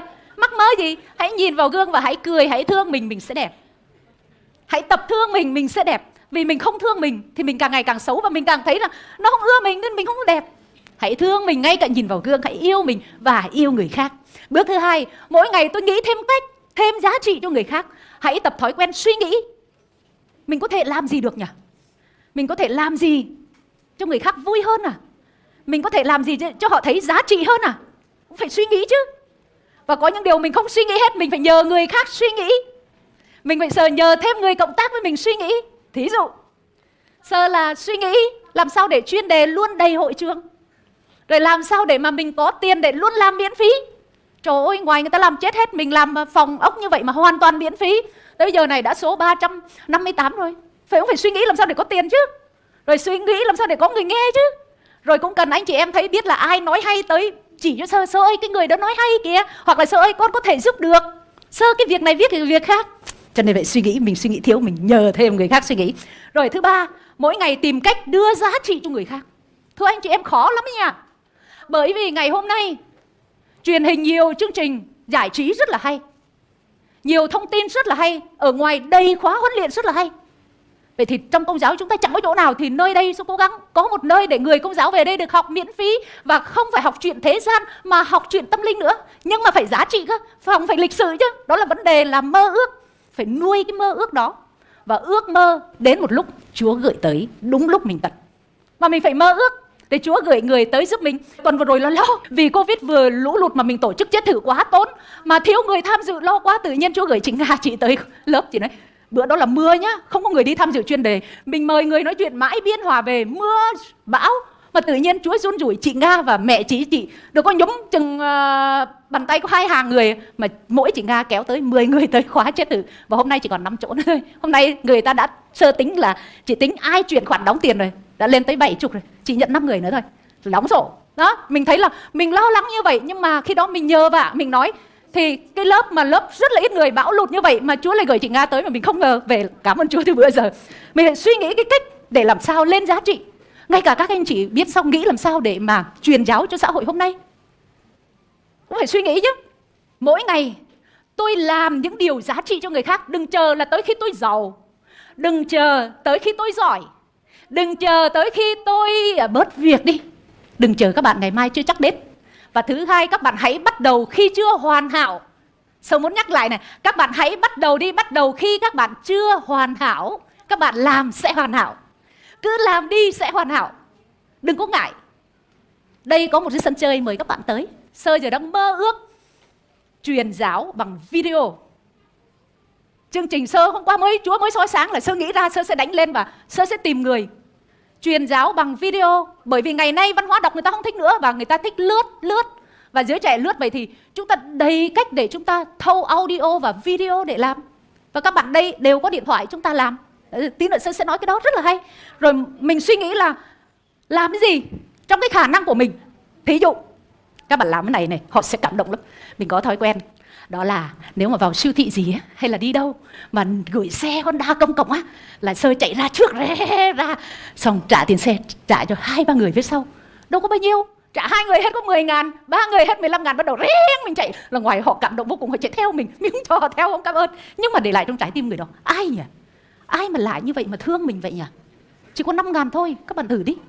Bạn hãy cho đi mà đừng có mong cầu đừng mong cầu người đó cảm ơn cho đi một cách quảng đại, họ sẽ thấy ra rất là cảm động. Tại sao không để lại cho một người? Có thể là người đó họ thiếu tình thương để họ thấy là trên đời này có còn có những người tốt chứ. Chuyện rất là nhỏ. Rồi, thứ năm là mỗi ngày hãy khuyến khích người khác thêm giá trị cho người khác. Một mình mình làm không đủ, mình khuyến khích. Đó là sơ lập một nhóm. Các tối thứ ba về nhà dòng sơ. Mở cửa, mời về nhà dòng sơ. Đúng 7 giờ cho tới 9 giờ. Làm việc liên tục.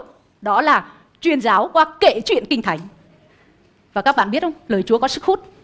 Sơ lập từ tháng 10 năm ngoái cho tới giờ mưa gió bão gì vẫn họp.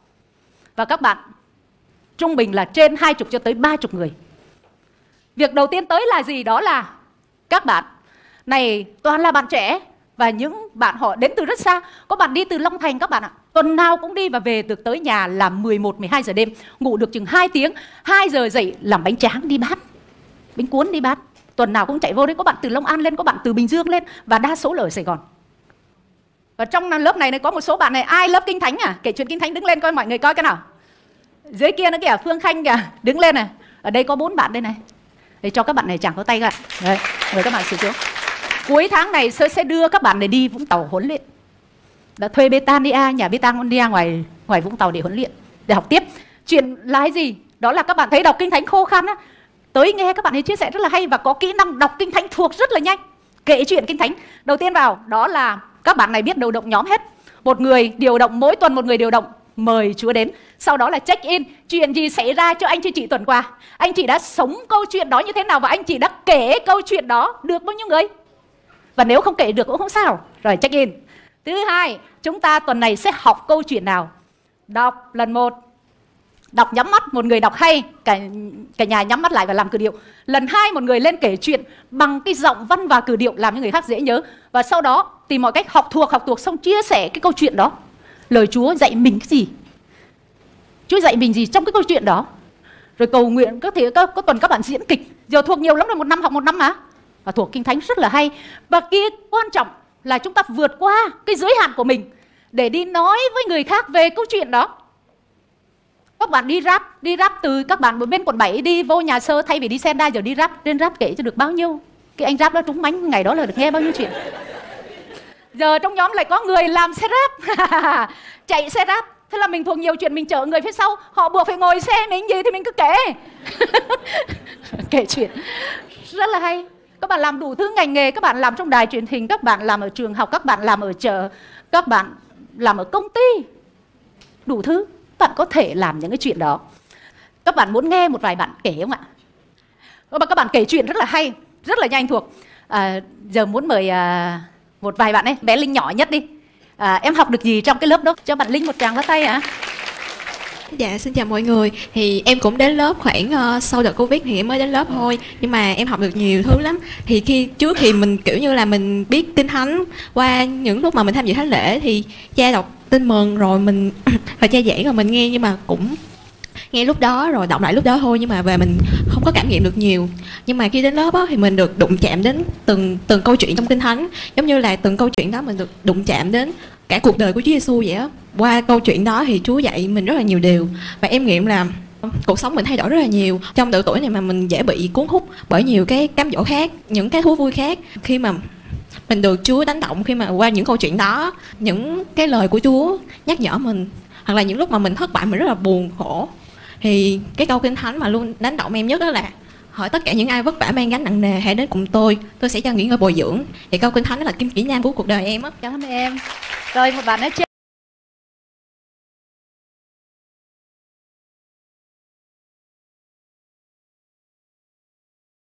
Công ty vẫn sử dụng nhân viên của mình. Rừng này người trong một ngày làm sẽ tăng nhiều thu nhập cho công ty lắm. Nhưng giám đốc của chúng ta, ban điều hành của chúng ta đã quyết định không có lấy giờ lao động của ngày hôm nay để cho anh chị em đến đây ngồi để học, để nghe được điều gì đó, để làm giàu cho cuộc sống của anh chị em. Vậy thì chúng ta hãy lắng nghe tất cả và chúng ta tham gia nhiệt tình tham gia tất cả mọi hoạt động thì anh chị em mới học được. Lần đầu tôi thấy buổi sáng đã lắp cho tôi một cái bàn ở đây và có mic để ngồi. Và tôi xin xuống bỏ xuống đây và tôi không bao bao giờ ngồi cả. Anh chị em đến để nghe một ai đó giảng và chỉ nghe một chiều thôi. Anh chị em biết anh chị em sẽ nhớ và áp dụng được bao nhiêu không? Rất ít ạ. Ít lắm ạ. Chỉ độ 10% thôi ạ. Nhưng mà phải nghe thấy làm và thực nghiệm. Vậy thì sáng hôm nay anh chị em dám buông bỏ tất cả anh chị em đã bỏ lại phía sau những công việc còn dở dang, đã bỏ lại phía sau chồng vợ con của mình, đã bỏ lại phía sau những hẹn hò nếu mà hôm nay công ty cho đi nghỉ thì đi ăn uống đâu đó. Để ngồi đây thì anh chị em hãy làm cho thời gian của mình chất lượng. Cùng với tôi tôi sẽ là người đồng hành với anh chị em để buổi sáng hôm nay chúng ta có một buổi sáng đầy năng lượng. Những anh chị em nào đồng ý xin giơ tay lên thật cao và nói là có tôi ở đây những ai muốn mình sống viên mãn sống hạnh phúc sống vui tươi xin giơ tay lên ạ à, giơ cao coi ạ. À. tôi sẽ nói một bí quyết cho anh chị em. Bí quyết đó rất đơn giản và chúng ta sẽ thực tập ngày buổi sáng hôm nay. Đó là gì ạ? Anh chị em biết trong cái lòng bàn tay của chúng ta tất cả năng lượng nó nằm ở đây.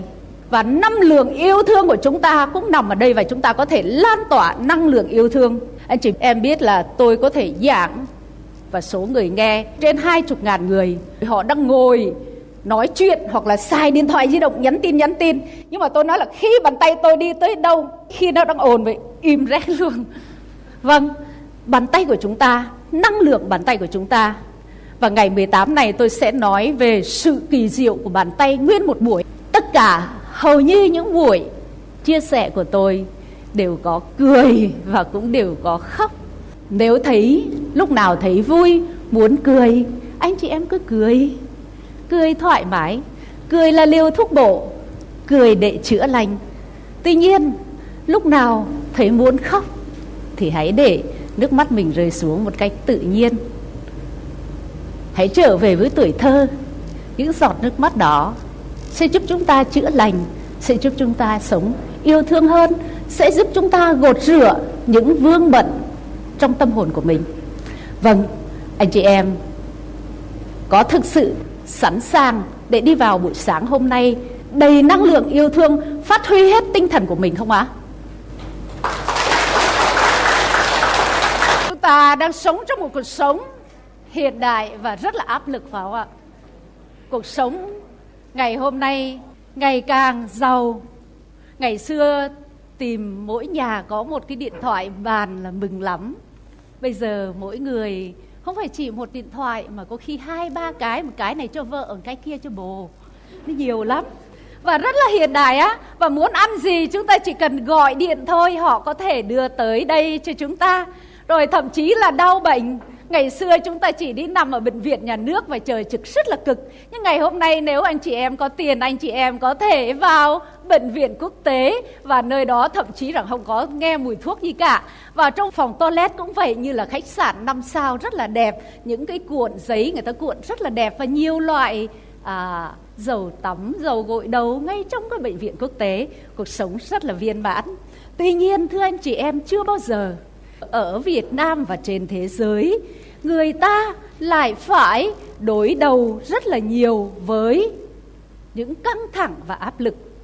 Chưa bao giờ ngành y tế phải bỏ ra số tiền rất lớn để sản xuất thuốc nhức đầu, thuốc ngủ và các nhà tâm lý học, các nhà trị liệu, các linh mục, các tu sĩ chuyên về tư vấn càng ngày càng bận rộn Trước đây tôi để điện thoại vài giờ tôi cảm thấy sợ tối khi đi ngủ là phải khóa. Bởi vì nhiều khi họ đêm họ không ngủ được, họ không gọi sơ ơi con không ngủ được nhức đầu quá. Và có biết là cứ gọi cả đêm như vậy thì sơ cũng bị nhức đầu nốt. vâng, càng ngày như vậy và quá tải và mỗi năm ngốn một cái lượng thuốc, thuốc rất lớn về thuốc tâm thần nhức đầu. Các bệnh viện tâm thần thần kinh càng ngày càng quá tải và sẽ không căng thẳng như thế nào được, cảm thấy rằng căng thẳng là đúng thôi. Ngày xưa trong nhà chúng ta bị căng thẳng với vợ với chồng, chúng ta chạy ra đường để chúng ta hóng gió, phải không? Ngày hôm nay mà chạy ra đường thì càng căng thẳng hơn. Mình đang chạy thẳng như vậy, nó lại đụng vô mình chứ không phải là mình sai rồi, mà có khi mình cũng chết luôn. Vậy thì những ai ở đây đang ngồi hãy nhìn lại mình. Tôi muốn là ban tổ chức phát cho mỗi người một cái bút và một tờ giấy. Và trên tờ giấy này anh chị em thấy là cái nào mà à, có cái màu trắng sau này á, là băng keo đừng có viết nhá. Viết trên này à, xin chiếu lên màn hình. Những điều cần viết là anh chị em hãy viết một nan đề làm cho bạn đau khổ buồn chán sợ hãi căng thẳng hiện nay mà chưa giải quyết được. Đó là cái gì? Thứ hai là các bạn cho lý do tại sao không cần phải viết tên, cho nên thoải mái. Sơ quế không có điều tra là của ai à. Cho nên cứ việc viết, căng thẳng chuyện đó là diện gì, để sơ, sẽ chỉnh bài của mình, để vào, để đúng cái điều mà anh chị em mong ước.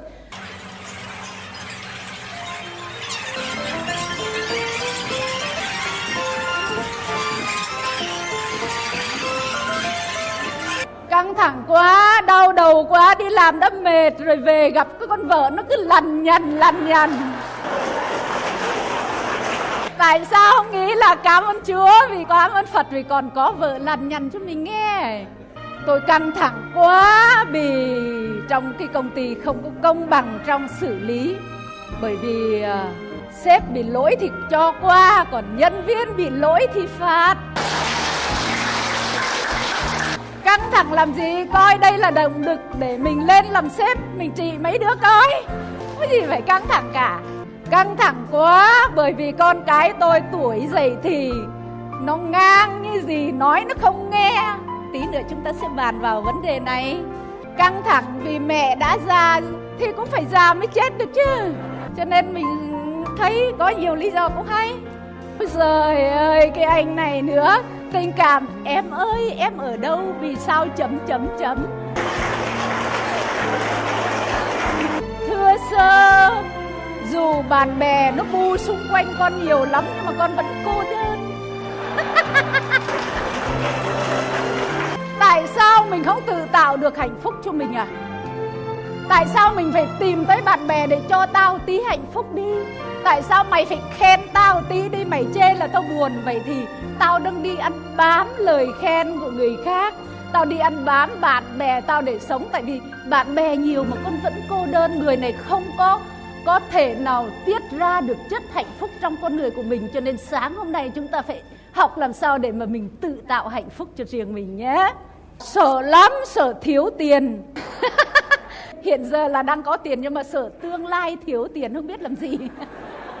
Hãy sống có tiền ngày hôm nay đã, tương lai kể nó nhìn qua chung thì chúng ta căng thẳng đa số là do trong nội tại của chúng ta. Do chúng ta mơ ước và cái ước mơ của chúng ta nó không đạt. Do bản thân của mình rất nhiều người đây đau bệnh. Vì không có sức khỏe, vì chồng, vì con, vì vợ và vì bạn bè, vì sếp căng thẳng vu vơ cũng có, tự nhiên không có chuyện gì cũng căng thẳng. Hầu hết tất cả con người trên trần gian này đều mơ ước có cuộc sống thành công và hạnh phúc, được trở nên vĩ đại, đặc biệt là trong lĩnh vực chuyên môn của mình. Tuy nhiên, cái số người hạnh phúc và thành công trên thế giới này thì quá ít. Vậy thì điều gì đã cản cho con người chúng ta không có thành công hạnh phúc ạ? Theo anh chị, điều gì cản? À, một trong những cái điều mà cảm thấy mình luôn luôn mình căng thẳng mình cảm thấy mình không hạnh phúc đó là cái cái điều mơ ước của mình nó quá lớn. Nhưng mà cái thực hiện của mình mình cứ mãi mình cứ mãi không bao giờ mình dám thoát ra khỏi cái vỏ bọc của mình mình cứ chấp nhận một cái điều hiện tại trong khi cái điều mơ ước của mình nó lại nhiều hơn. Đó là một trong những cái lý do làm cho mình cảm thấy không bao giờ mình hài lòng cảm thấy theo tôi thì à, do là mình thiếu cái niềm tin của mình niềm tin vào chính bản thân mình nên uh, mình uh, cái, cái động lực mình làm nó kém đi. Vâng rất chính xác ạ. Ngoài cái việc có kinh nghiệm nhưng mà chỉ có một số ít người thành công và có nhiều người không thành công à, nó cũng là do một phần à, may mắn à, và một phần là do thời cuộc để nó tạo nên được cái sự thành công cho cái người thành công. Do may mắn và thời cuộc nhưng thực sự trên trần gian này con số may mắn chỉ chiếm 10% cuộc đời của chúng ta thôi 90% đó là sự cố gắng của mỗi người. Theo con thì uh, ví dụ chúng ta muốn uh, có một cái công việc tốt hơn nhưng mà chúng ta lại không dám buông bỏ công việc uh, hiện tại. Vậy là đâu là sự khác biệt giữa người thành công và người chưa thành công? Chúng ta sẽ nhìn tới đây là một con người và mục tiêu của chúng ta cuộc sống là phải có mục tiêu và mục tiêu là điều mà chưa đạt tới. Vậy thì đây, con người này luôn có mục tiêu để đi tới đây Tên đỉnh này là ngôi sao ở đây, đi tới cái mục tiêu của này. Ai cũng phải có đặt cái mục tiêu của chúng ta phải cao hơn những gì mà chúng ta có hiện tại. Nếu bao giờ chúng ta cũng nghĩ là mình phải thấp lè tè thì chúng ta cũng chỉ được như thế thôi. Nhưng mà chúng ta phải ước mơ, giàu sang, thịnh vượng hoặc là giỏi hơn nữa, phải vượt qua bản thân thì cái ước của mơ của chúng ta là trên này. Nhưng sơ một nói rằng, để mà đạt tới cái mục tiêu này, có phải là trên trần gian này chúng ta đều đi một phát là nó thẳng lên đây như mũi tên không? Có phải vậy không? Không, nhưng mà cuộc sống của chúng ta cố gắng bò lên cái rớt xuống, cái tùm bò lên rớt xuống, bò lên rớt xuống, bò mãi mới được tới được cái mục tiêu này. Vậy thì khác cái người thành công và người chưa thành công là gì ạ? Khi mà họ đạt được những mục tiêu nhỏ này ở đây, là họ làm gì? Để mà đạt được mục tiêu lớn, phải có mục tiêu nhỏ.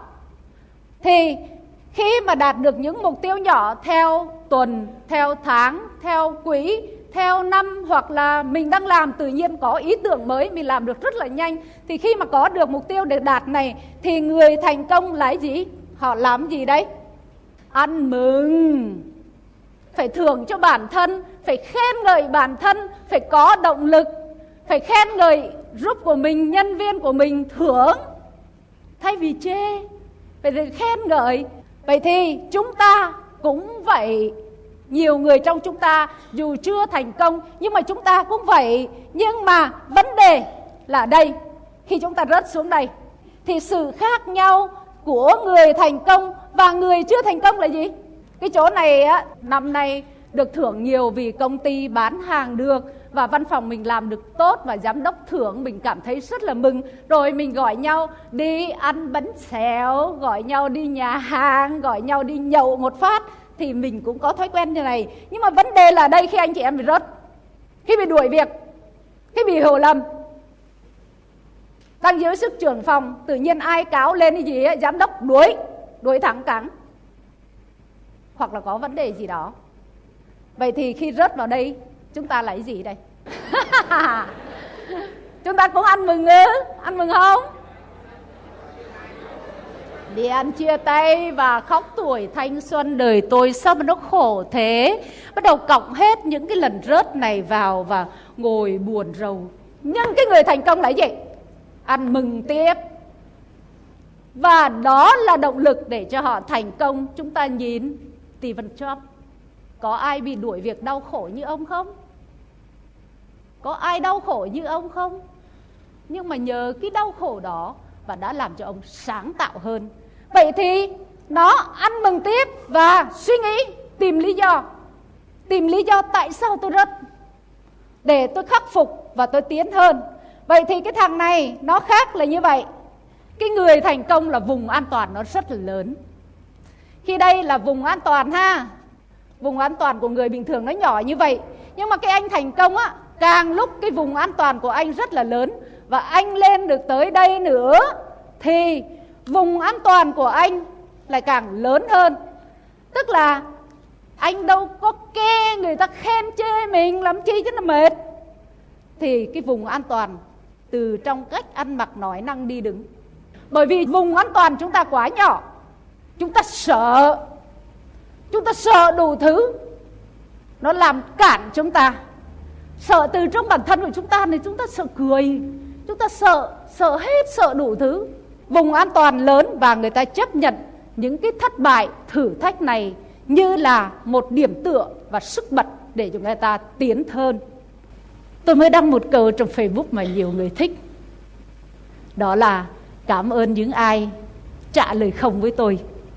Và nhờ đó mà tôi phải suy nghĩ, phải sáng tạo hơn, phải tiến hơn.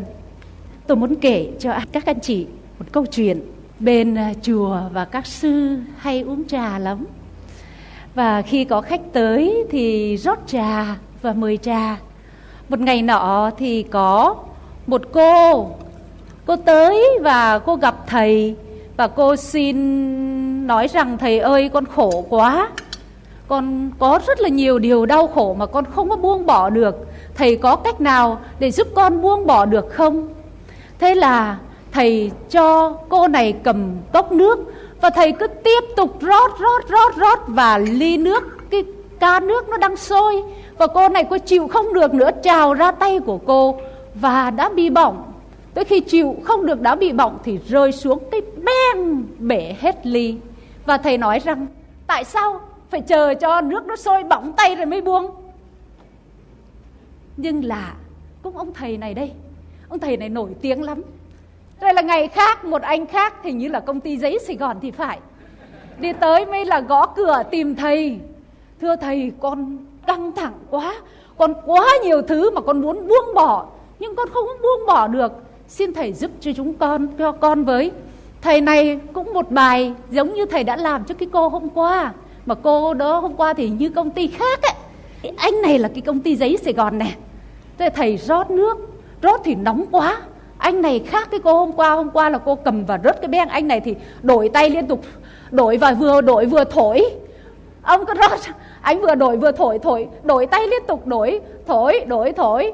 Và sau đó anh uống nước. Và anh thấy ừ, nước trà rất là ngon. Thầy nói tốt lắm nếu vì nóng mà con đã buông, thì con đã không cảm nhận được cái ngon của tách trà. Hay nhỉ? Tại sao hai người cùng đến giúp buông bỏ, mà một người thì, thầy nói rằng, thầy nói rằng tại sao mà để cho bỏng ra mới buông? Còn một người thầy nói, tốt quá tốt quá, nếu con đã buông lúc đó thì đã hỏng rồi. Vậy thì câu hỏi mỗi người chúng ta đều đặt câu hỏi vào buổi sáng hôm nay chúng ta tới đây để chia sẻ với nhau buông bỏ. Vậy thì lúc nào cần buông bỏ? Và lúc nào không buông bỏ? Bởi vì cái gì cũng buông là cũng chết. Lúc nào cần cần nắm? Đó là câu hỏi mà nhiều người đặt ra. Và chúng ta giả sử hai nhân vật trên là hai nhà đầu tư. Và sau một thời gian thì họ thấy rằng công ty họ không có lợi nhuận gì cả. Và ý chính của họ họ không đạt như kỳ vọng thì đứng trước tình hình đó, cả hai đều do dự và họ muốn buông bỏ. Nhưng mà chúng ta thấy hành động buông bỏ thứ nhất của cô gái kia là hành động đúng. Nhưng mà nếu anh thứ hai đến mà anh buông bỏ thì anh đã sai mất cơ hội kinh doanh và anh bỏ cuộc quá sớm. Hai kết quả khác nhau. Vậy thì đâu là lựa chọn đúng? Câu trả lời lựa chọn đúng nằm trong tâm hồn của mỗi người chúng ta. Trong đầu óc mà tạo hóa đã ban cho chúng ta để chúng ta nhận định.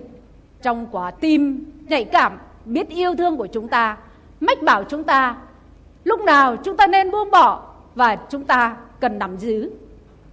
Đối với những người có đời sống tâm linh, đối với những người có sự kết nối với thượng đế thì nhiều vấn đề lớn họ buông bỏ hay nắm giữ rất là dễ dàng bởi vì họ có sự kết nối liên tục với đấng tối cao và đấng tối cao nhắc bảo cho họ điều gì nên buông bỏ và điều gì nên nắm giữ. Tuy nhiên những con người bình thường thì khó hơn. Tuy nhiên chúng ta có một số dấu hiệu để nhắc bảo cho chúng ta chúng ta cần buông bỏ. Chúng ta cần buông bỏ khi vấn đề đó gây hại cho bản thân của tôi, gây hại, gây bất hòa, gây chia rẽ, gây khổ đau cho những người thân, cho công ty, cho sĩ nghiệp và cho những người khác. Đó là những dấu hiệu mà vũ trụ và thượng đế cũng nhắc bảo cho chúng ta là chúng ta phải ngưng ngay và buông bỏ. Có thể lợi cho ta đấy nhưng mà không lợi cho người khác hại cho người khác. Thì trong trái tim và mỗi người chúng ta đều có tiếng nói trong tâm linh của mình điều đó không được. Tuy nhiên nhiều người khi nghe tiếng nói đó không ngừng.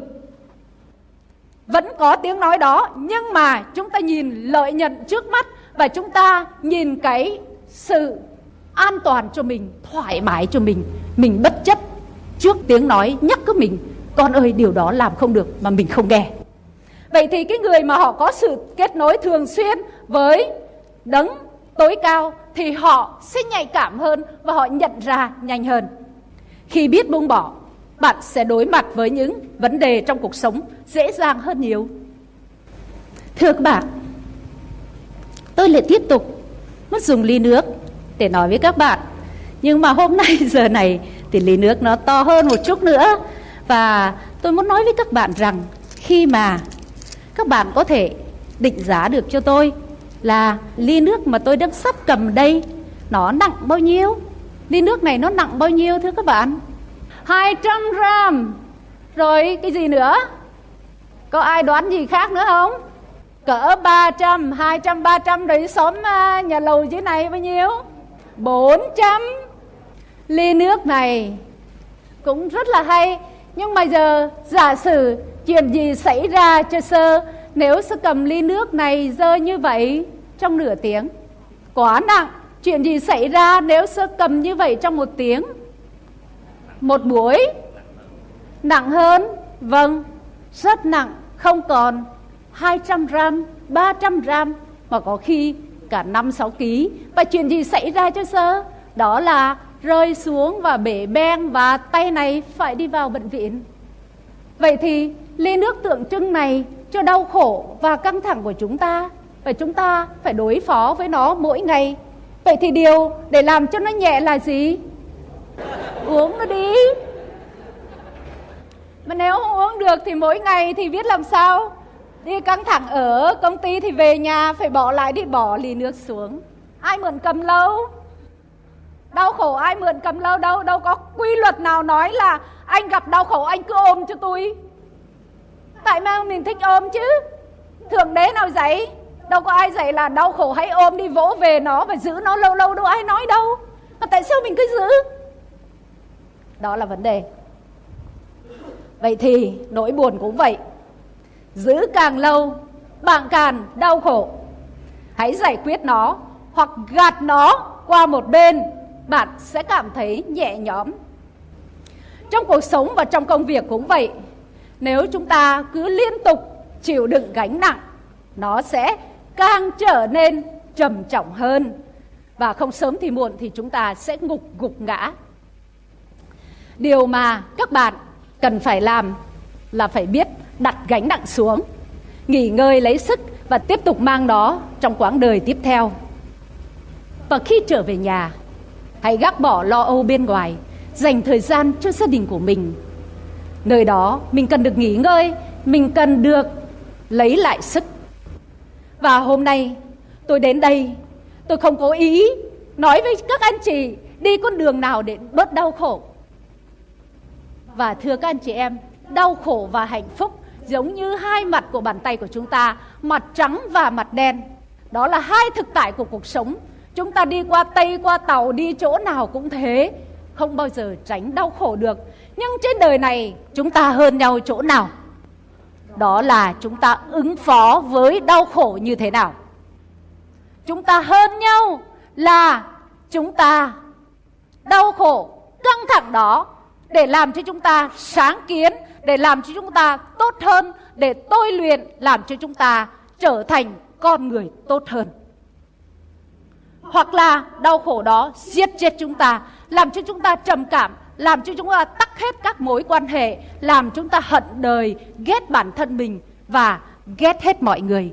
Đó là do cái nhìn từ cuộc sống của mỗi người chúng ta và chúng ta có quyền quyết định trên cuộc sống của chúng ta. Bài sáng hôm nay chúng ta sẽ cùng nhau chia sẻ với nhau một số vấn đề. Đó là thứ nhất, những đối mặt trong cuộc sống. Đối mặt đầu tiên là nỗi sợ. Nỗi sợ ai trong chúng ta cũng có những nỗi sợ. Ở đây, những ai cảm thấy rằng mình cũng có nỗi sợ nào đó, không sợ có người thì đa số hầu như là ai cũng sợ chết nữa cơ. Ai cũng có nỗi sợ trong lòng và những ai cảm thấy rằng mình có không ít thì nhiều những nỗi sợ mà mình mang bởi vì đó là thân phận của kiếp người. Nhưng xin giơ tay lên cao cái ạ. À. coi, cao còn ai mà không sợ tôi muốn mời lên đây để tôi học kinh nghiệm của người mà không có cái sợ nào để phỏng vấn, để chia sẻ cho lớp học coi, ai không có sợ đâu. Rồi xin mời bỏ xuống. Nguồn gốc của mọi vấn đề đó là sự sợ hãi. Chúng ta sợ bị chê cười, sợ bị tẩy chay, sợ cô đơn, sợ đau, sợ mệt. Hồi nãy có người viết đó là muốn tiến thân nhưng mà lười. người đó hay nhận ra được mình là muốn giỏi lắm nhưng mà lười. Buổi sáng thấy béo quá muốn tập thể dục mà lại thích ngủ nướng. Bấm đồng hồ là 7 giờ phải có mặt công ty mình căn tới sắt nút à, 6 giờ đồng hồ reng. Còn à, tắt cái đã rồi tắt xong reng lần hai có khi ném đồng hồ xuống luôn. Đấy mà lại muốn giảm cân muốn đẹp nó cứ trái ngược vậy, đời nó khổ.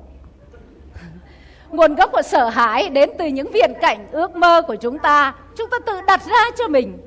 Thứ nhất là nỗi sợ làm cho rất là nhiều người nợ nần. Anh chị em biết tại sao lại sợ lại đi đến nợ nần?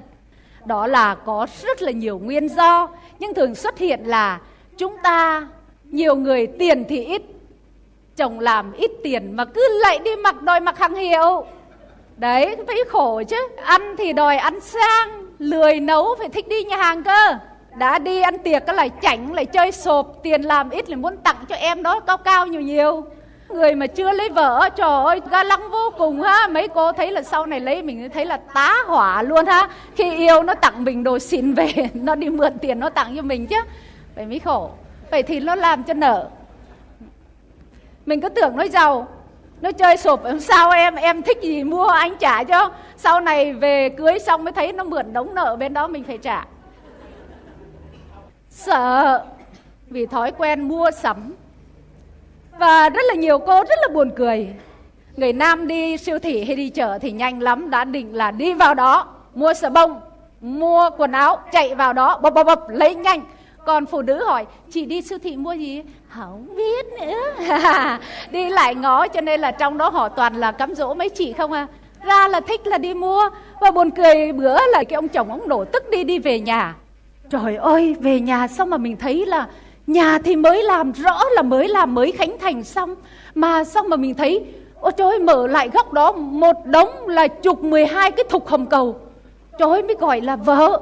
Em, em tại sao lại mua nhiều cái thục hồng cầu như vậy? Nhà mình mới khánh thành được có mấy tháng. Trời ơi anh ơi, em đi siêu thị đang nó on sale, Cho nên em mua chục đó, đứa nào nó mời đi khánh thành nhà Thì chúng ta tới, chúng ta mang tặng, Mang biếu đó, nó chửi cho mày chết. Ông để ông vào, Để đi vào nhà kho, Mở. Cho ông thấy là, Trời ơi, trong nhà kho sao bữa nay lạ quá. Nhà mình đang khỏe mà có hai đứa chưa sinh con, Lại có cái cái xe lăn hỏi, ủa xe lăn nào ở đâu đây? Trời ơi, em đi dạo dạo đó đi vô chỗ đó cho nó hóng mát để thấy người ta xeo cái xe lăn em mua đó để mai mốt anh với em có phải đi không? Tại vì ông chửi cho trận nữa. Đó, cho nên phụ nữ nhiều khi đi mua mà mua theo cảm tính của mình và mua theo sở thích của mình. Nhiều khi đồ mình không có xài từ nhìn về là làm cho mình cũng nợ nần. Thói quen nghiện mua sắm có thể xuất hiện bởi sự khó chịu, sợ rằng một ngày nào đó tôi bị liệt, tôi không có xe lăn để đi. Sợ cô đơn, sợ rằng tôi ăn mặc như vậy thì người ta nói rằng trời ơi con đấy mặc đồ rẻ tiền quá. Tôi thấy là lạ có một vùng đó họ nghèo lắm mà phụ nữ, biệt là đi đám cưới chỉ mặc cái đầm đó hoặc áo dài đó một lần thôi, lần sau không mặc. Hỏi sao vậy? Mặc một lần rồi, giờ ai mặc nữa? Trời ơi, ai mà suốt ngày đi ngó thử hôm nay anh mặc áo này thì lần sau anh đám cưới anh mặc áo này hơi nào.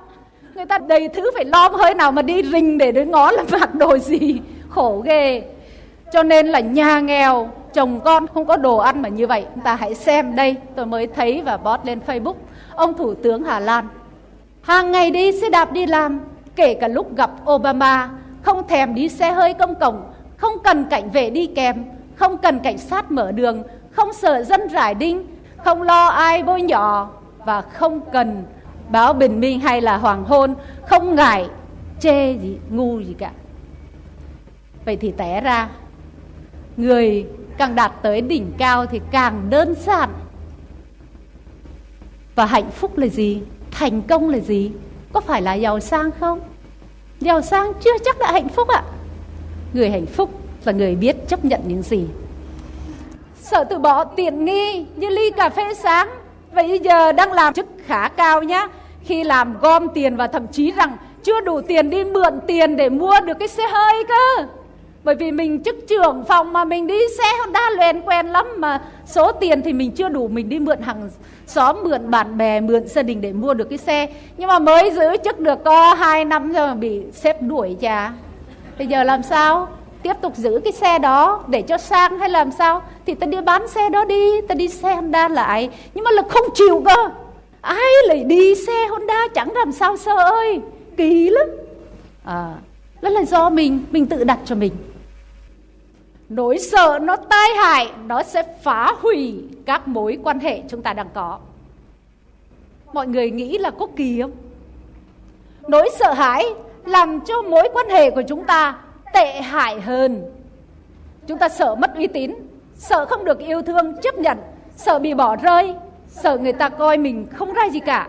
Vì thế mình cố gắng chứng minh. Mình chứng minh mà điều mình không có mình nói dối. Mình nói dối rất là giỏi. Anh thì thế nọ thế kia. Ờ, em thì thế nọ thế kia. Tôi làm việc cho đài 1088 từ năm 2000 tư vấn trên đài. Thì mắc cười nhiều người lấy về mấy vỡ mộng cho nên, trong các lớp hôn nhân và khách hàng của mình, tôi luôn nói với các bạn rằng, thường trong thời gian yêu các bạn, lấy gì? Tốt thì khoe, thì chưa có tốt cũng phải bày ra tốt để khoe cho đối phương, còn xấu thì che lại. Nhưng mà trong thực tế, chúng ta phải sống thật, phải cho nửa bên kia biết tôi là con người thật như thế nào. Hai đứa kia lấy nhau vì bạn này nói rằng, trời ơi, em cứ tưởng anh giàu sơ ạ. à rồi anh đưa em đi chơi, anh nói là em cứ mua đi, mua hàng hiệu xong về em thấy anh thất nghiệp. Mà anh lười ơi là lười, bẩn ơi là bẩn, chịu không được. Và khi đi chơi với em là anh thơm lắm. Vì thế mà sợ cố gắng để chinh phục. Và sợ đó làm chúng ta ghen tương bởi chúng ta sợ mất, kiểm soát sở hữu người khác. Có ông chồng ở miền Tây và khi đó phải nhờ đến hội phụ nữ và công an vô can thiệp bởi vì sau này mới khám phá ra ra ông lấy cố gắng để lấy vợ đẹp và thương vợ quá. Sợ mất vợ là khổ lấy vợ đẹp lại sợ mất sợ thằng khác nó cấm dỗ. Cho nên khóa cha chân bà vợ trong uh, uh, xích trong chân giường á. Mà anh chị em biết bao nhiêu năm không trên 10 năm không ai biết. Mà yêu như vậy có phải là yêu không? Đó là yêu mình? Yêu đó đâu yêu người ta thật con chim mà để trong lồng anh chị em có cho nó ăn vàng nó cũng chẳng thích mà nó thích bay trên trời cao xa. Thế thì sợ, tại sao mình không đủ an toàn để tin người ta có thể trung thành với mình? Và tại sao mình không có hấp lực để làm cho người ta trung thành với mình? Tất cả nỗi sợ ấy đều bắt đầu từ viễn cảnh ước mơ phi thực tế của mình. Ta tự đặt ra cho ta hoặc là ta tự đặt ra cho người khác. Và nếu có thể tập kỹ năng buông bỏ được các viễn ảnh ước mơ phi thực tế, thì chúng ta sẽ bắt đầu chính mình, bắt đầu và tự tin vào chính mình, phát triển những khả năng của mình có. Và chấp nhận người khác, chúng ta sẽ sống thanh bình và yêu thương. Cái thứ hai là chúng ta phải đối mặt nữa. Đó là gì? Đối mặt với người lập dị. Anh chị em thấy là mình có bị đối mặt những người lập dị không? Có ai thấy đối mặt? Thì giơ tay lên chia sẻ trong một ngày sống của mình. Từ sáng tới chiều, từ trong nhà đi ra đường phố, trong công ty những người lập dị mà mình phải đối đầu như thế nào ạ? Có ai thấy người đó làm sao? Xin chia sẻ lên để mình đưa cái trường hợp đó ra mình giải quyết ạ. Những người mà mình thấy điên đầu đi, nó làm cho mình không điên nữa thôi ạ. Mà mình phải cười, phải tha thứ. Là lập dị như thế nào ạ? Anh chị em có gặp không? Xin mời em. Cái mục đầu tiên là nói về nỗi sợ. Thì hồi nãy giờ sơ có chỉ cho mình thấy nhiều cái nỗi sợ rất là nhiều. Nhưng mà sơ chưa nói cái cách nào để mà mình giảm cái nỗi sợ đó đi? Vì mình giảm được cái nỗi sợ thì mình sẽ hạnh, hạnh phúc. Ừ. các anh chị nhìn thấy ở đây trên bàn sơ có cái gì? Tất cả một cái chuông. Phải không? Tức là hình như mình đang giao thoa hai tôn giáo à. Có thể tôi dùng từ vậy đi. À. à. thì trong Phật giáo để tránh được cái nỗi sợ này thì mình phải làm sao thì bản thân mình chia sẻ cái kinh nghiệm của mình thôi. Để làm sao mình giảm được cái nỗi sợ này. Thì uh, mọi thứ nó theo cái quy luật của tự nhiên hết. Hai chữ vô thường trước đây mình đã nghe rồi đúng không? Đời mà thì vô thường. Mọi thứ nó theo quy luật tự nhiên thì xuân hạ thu đông có gì đâu mà mình phải sợ. Cái gì nó đến thì nó đến rồi mình đón nhận nó rồi mình giải quyết nó thôi. Thì tôi cũng chả phải cái gì mà mình phải sợ cả. Có những cái vấn đề theo cái cách nhìn như nãy sơ nói thì đôi lúc mình thấy cái này nó nó phức tạp quá nó không được good thì mình thay đổi cách nhìn thì lúc đó là mình lại có cách nhìn khác thì mình cái dễ dàng buông bỏ hơn chẳng hạn Vâng, xin cảm ơn anh. Tại sao không cho anh một tràng pháo tay ạ? Chúng ta sẽ gặp những người lập dị trong cuộc sống của chúng ta đối mặt với những người khó chịu, khó thương hoặc khác người chúng ta. Thí dụ ạ, ai thể cho được vài ví dụ? Vâng, xin mời bạn. ở à, khối văn phòng đặc biệt ở khối văn phòng ở à, 117 tôi nói thật là gần như là à, tất cả các anh chị em ở khối văn phòng ở 117 đều là người lập dị.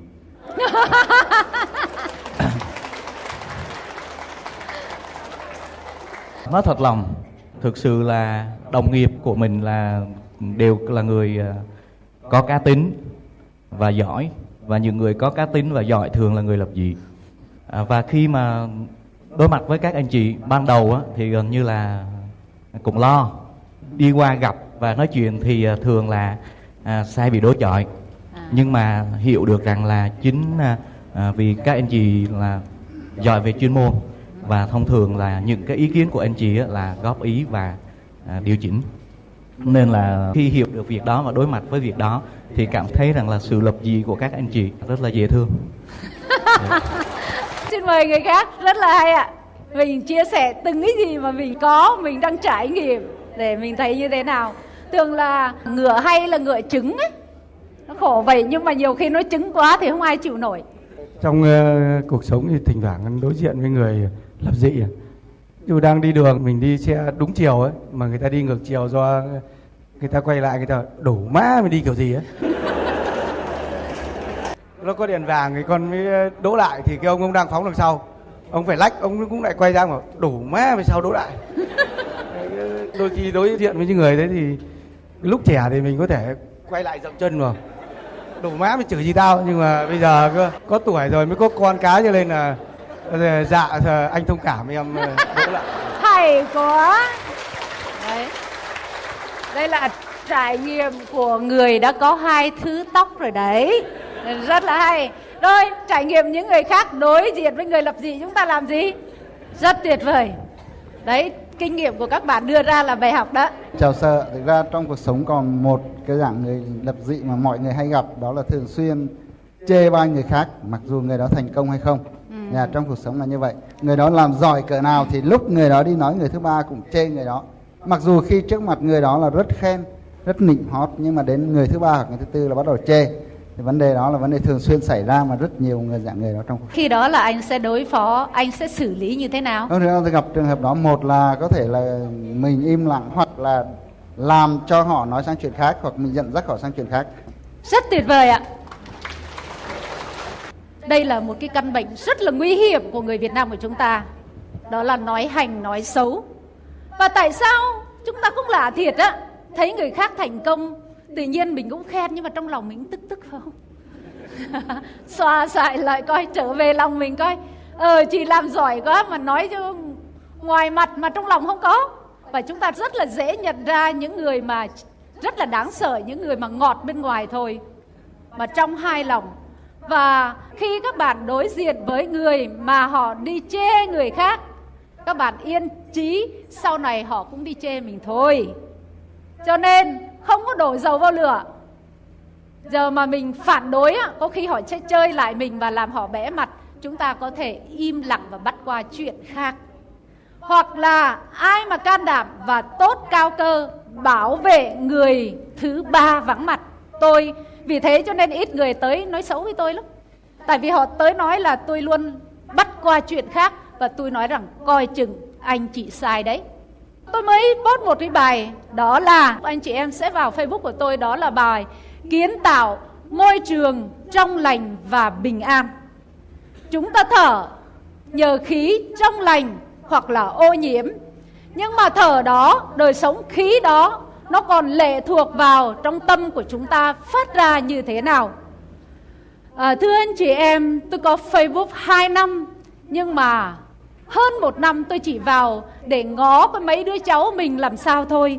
Cho nên im re không bao giờ post gì cả và ai họ mừng sinh nhật mình không dám đáp lời lại.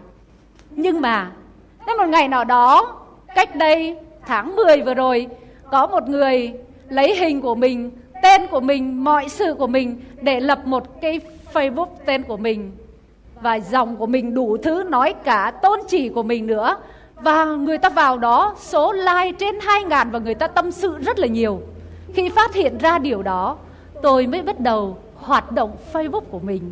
Và của tôi là Nguyễn Thị Hồng Quế có dấu và bó hoa tím. Không bao giờ tôi cho hình mình lên. Nhưng mà sau khi thấy như vậy thì làm một cái fanpage có hình của mình. Và khi vào đó thì mỗi ngày bây giờ thì Facebook của tôi rất là đông người vào. Để và mỗi ngày tôi quyết chí rằng sẽ gửi yêu thương và bình an vào cái trang của mình. Và khi lướt Facebook các anh chị em thấy trong một ngày sống của mình, buổi sáng mở mắt ra, bật tivi hoặc là radio hoặc là nhặt một tờ báo hoặc là lướt Facebook thì điều gì chúng ta thấy ạ? À? Đó là toàn là tiêu cực à? Best news tin tốt không có toàn là tin xấu đã tin xấu rồi thì chuyện gì anh chị em sẽ coi văn hóa Việt Nam của chúng ta qua Facebook chỗ comment á. Anh chị em thấy ai thành công á, trời ơi, họ có thể xe đầy nhưng mà tìm một người cảm ơn khen ngợi không có. Bắt đầu có chuyện gì mà chưa rõ, đúng sai, chưa biết gì, bắt đầu nhảy vào và chê chê và chửi chửi rất là đau. Chúng ta đổ thêm dầu vào lửa.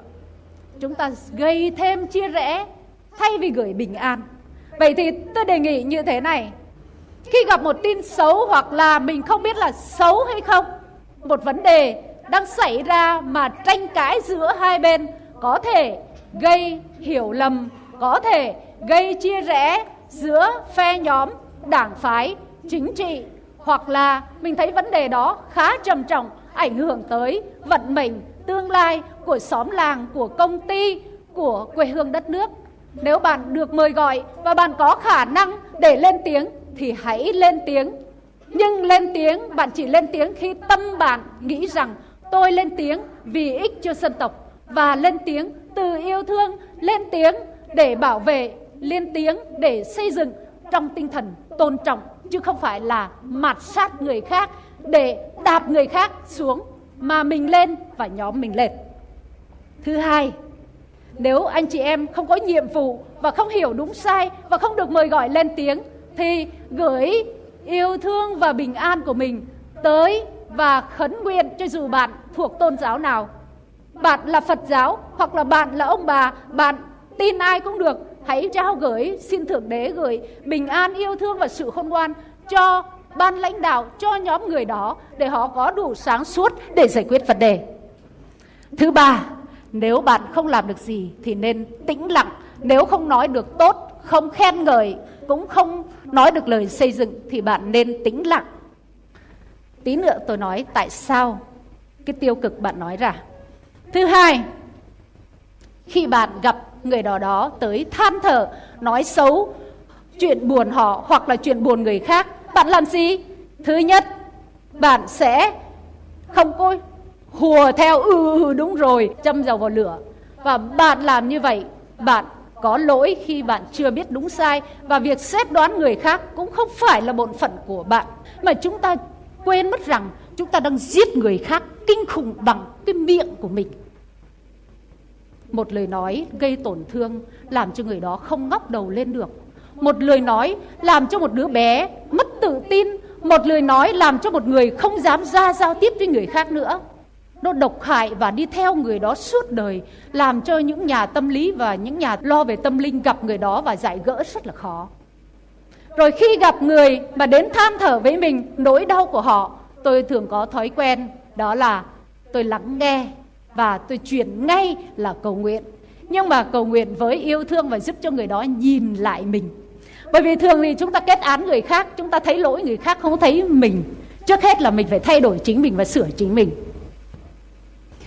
và khi không khen ngợi được, khi cảm thấy rằng ghen tuông gì đó, thì tôi nghĩ rằng không nên nói ra những điều xấu.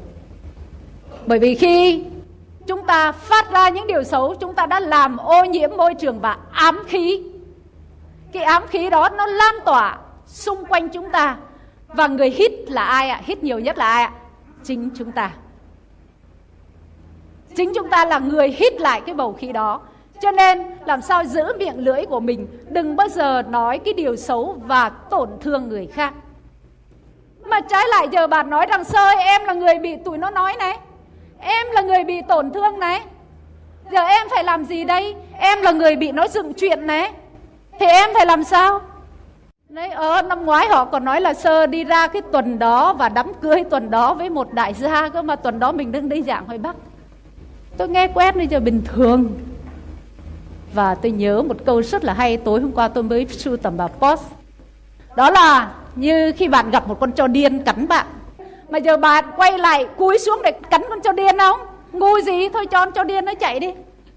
Không để mình mất năng lượng khi nghe những tin xấu đó cũng không để mình mất năng lượng để gửi đi những tin xấu đó và chúng ta sẽ làm như vậy và tạo một thói quen trong công ty chúng ta không nói xấu nhau nữa. Và tôi đã giúp được một số nhóm làm được cái chuyện đó. Tức là mình phải can đảm cơ, mình phải im lặng, không đổ dầu vào lửa, hoặc là mình phải bảo vệ cái người kia. Và mình sẽ biết chắc rằng cái người này đang đi nói xấu người kia, sau này họ sẽ nói xấu mình á. Đừng có mà hùa vào. Ta cái tính họ vậy, họ sẽ lật lại và họ nói xấu mình, dừng chuyện mình lúc nào không hay. Vì thế mà mình sẽ giúp cho sự yếu đuối của người ta bằng mình không thêm vào. Mời các bạn.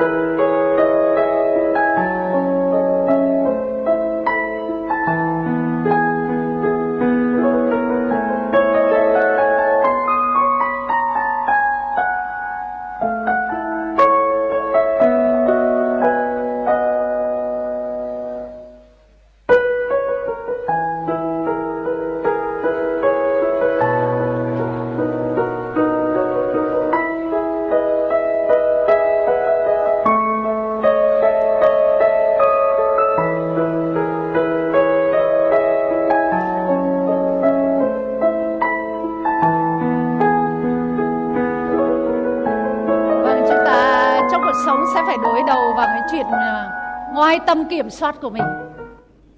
Mình sẽ đối xử như thế nào? Vì thế mà để mà làm được cái điều đó phải có sự tập luyện. Đặc biệt là người Việt Nam của chúng ta ra đường rất nóng. Tự nhiên đã chạy sai, đã cán người ta khác rồi còn chửi lên để áp đảo tinh thần ấy á. Làm rầm lên. Một chỗ ơi, biểu hiện tâm không có bình an, không có yêu thương. Lướt phây những comment thấy là một cái nền giáo dục đang xuống cấp. Toàn gửi đi sự ám khí, tiêu cực, giận dữ. Chuyện người ta mà mình nhảy vào chửi rầm rầm. Tự nhiên làm vậy là ai khổ? Chính mình là khổ bởi vì trong tâm trạng khó chịu. Tâm không bình nó phản ánh ra con người của mình. Ta bực mình vì người khác vì họ không cư xử theo ý của ta. Hành vi ứng xử của họ thô lỗ, cộc cằn bởi vì họ không nằm trong khuôn mẫu của ta. Từ đó quan hệ ta với họ bắt đầu xấu đi. Thay vì đó, ta thôi không khăng khăng mong đợi họ phải hành động theo ý mình. Kệ và chấp nhận. Chúng ta hãy chấp nhận họ, chấp nhận sự khác biệt của họ và mối quan hệ giữa ta với họ sẽ tốt hơn. Giống như anh bạn vừa chia sẻ bắt đầu vào cái phòng mà nhiều người chướng lập dị đó, toàn là người lập dị, ban đầu chắc anh khó chịu lắm. Nhưng mà dần dần anh đã chấp nhận và khám phá ra cái đẹp của họ, cái hay của họ.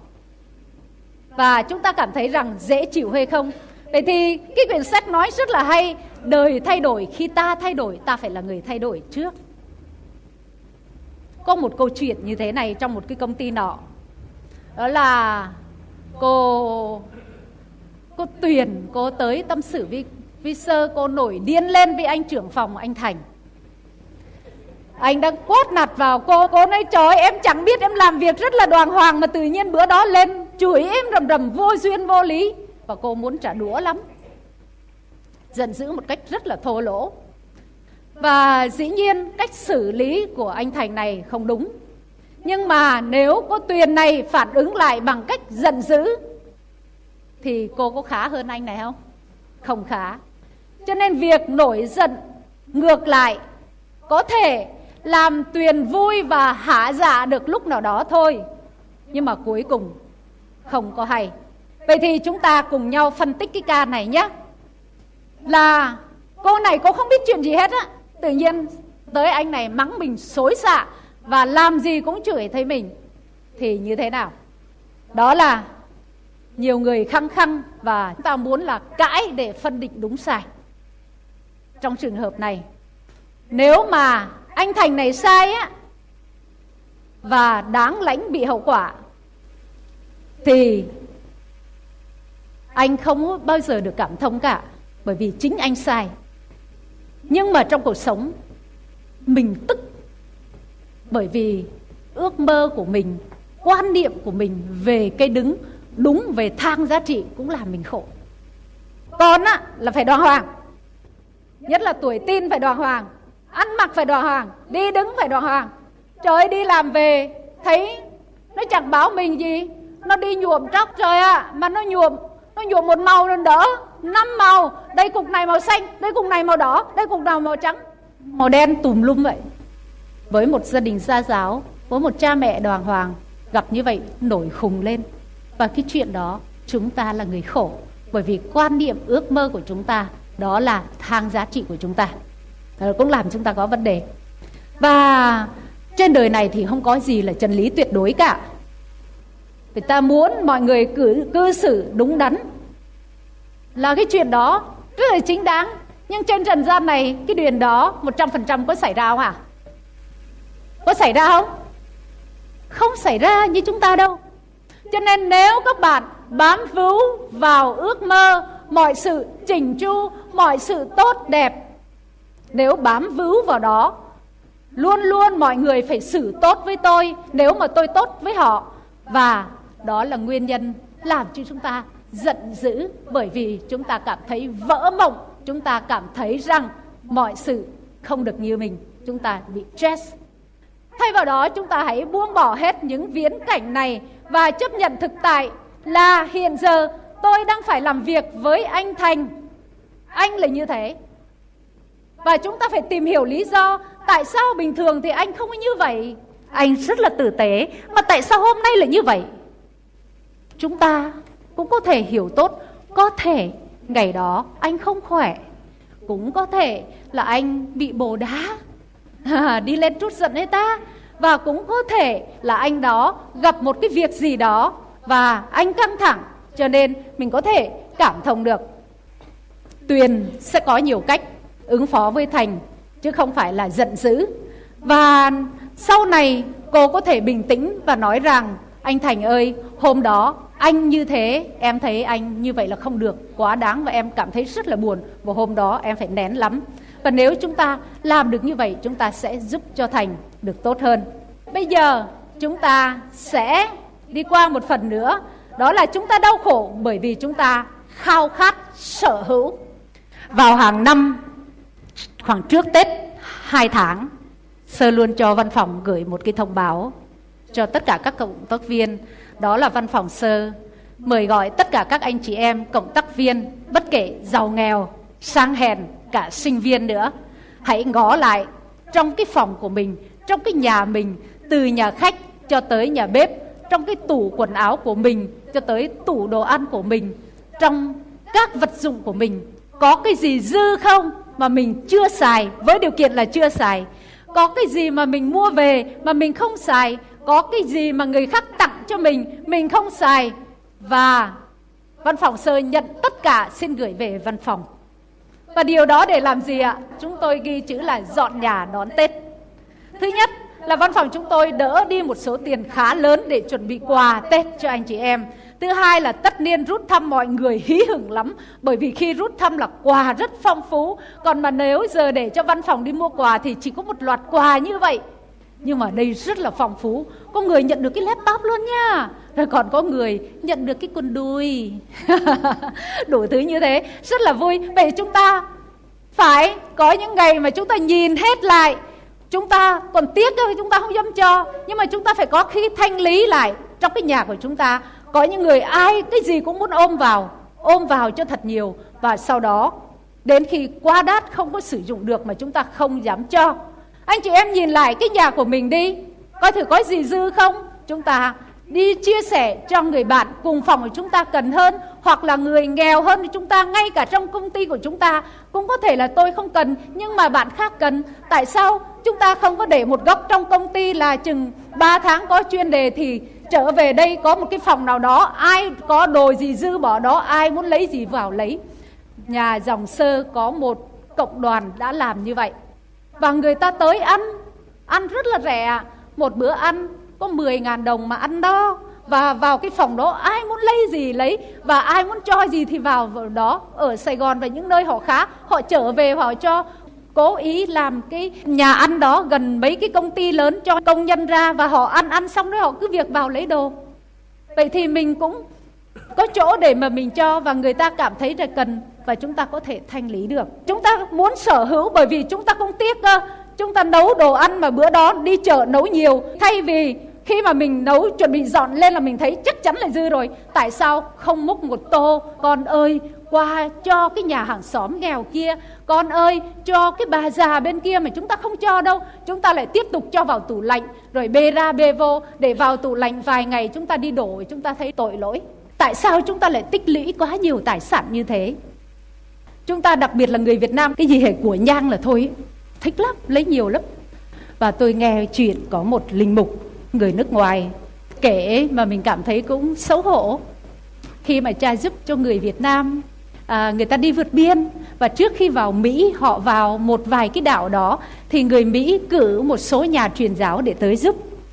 Thì người Mỹ họ có một cái thói quen là như vậy đồ ăn thí dụ là cà phê đường sữa để từng dãy bàn đó ai ăn bao nhiêu lấy và người Việt Nam của chúng ta có những người tới trước cho cô giỏi nhiều nhiều đưa về người sau không có. Và tới khi nhà đó có vấn đề cháy nhà hay chuyện gì lại mới thấy một nhà cà phê, một nhà đường trong khi anh chị em không có. Và chuyện đó xảy ra xảy ra rất nhiều, ngay cả ở Việt Nam của chúng ta. Vậy thì từ bám víu bám víu nhiều làm gì? Và khi bám víu đó chúng ta phải suy nghĩ, phải giữ lại như thế nào, phải canh giữ như thế nào khỏi mất vậy tại sao chúng ta không chia sẻ cho người khác? Không chia sẻ cho người nghèo? Bởi vì chúng ta nghĩ rằng phải có cái điều đó, phải có cái vật dụng đó, chúng ta mới an toàn, chúng ta mới thỏa mãn nhu cầu của mình. Vậy tại sao nhu cầu của chúng ta lại quá nhiều như vậy nhỉ? Chúng ta có thể bớt thêm được nhu cầu không? Vậy thì, điều quan trọng là chúng ta cần phải buông bỏ khao khát sở hữu của mình và đồng nghĩa với việc buông bỏ là chúng ta dừng bớt được nhu cầu nào hay nhu cầu đó. Trong đời sống tu rất là hay. Tu như các sơ, anh chị em biết khấn lời khấn khó nghèo. Đó là đâu có sở hữu đồng bạc nào đâu. Có tiền đi làm về, tiền do lương thưởng, lương bổng, ai cho gì hoặc đi giảng gì, về nộp hết à. Tới khi cần gì là xin. Cho nên khỏe không phải giữ tiền, không phải lo lắng trong phòng có gì đâu, trộm vô lấy và đi dọc đường nó muốn giật giỏ không được bởi vì không gì đâu mất. Cho nên là có giỏ, có nhiều tiền lo nó giật, còn mình nó muốn giật cũng được, không có gì cả. Vậy thì tôi nhận ra buông bỏ vừa đau đớn nhưng rất kỳ diệu, bởi đó là một quá trình gồm mất mát, xen lẫn với tự do. Khi anh chị em buông bỏ, mất chứ, nhưng mà sau đó rất là tự do. Bởi vì tôi hỏi anh chị em một câu nhé. Ở đây ai có kinh nghiệm tuyệt thực 100% ba ngày, xin giơ tay lên ạ. Ai có kinh nghiệm, tuyệt thực 100% 5 ngày ạ. Ba ngày không có lấy chị năm. Ai có kinh nghiệm, tuyệt thực, hạ giá nữa 100% trong một ngày. Không có luôn. Công ty này quá sướng, ăn nhiều. đây, sơ chia sẻ kinh nghiệm cho. Sơ vừa xong tuyệt thực 100% 10 ngày, vừa xong hôm thứ tư. Lẽ ra sơ đi tiếp á, mà nghĩ là hôm nay gặp một số anh em và trưa nay hẹn họ đi ăn trưa. Lâu lắm không gặp họ thì sợ họ buồn. Tối thứ tư là xong 10 ngày, mà sơ muốn đi tới 12 14 ngày. Tuyệt thực 100% nghĩa là không ăn gì cả. Và uống là uống nước trắng này thôi.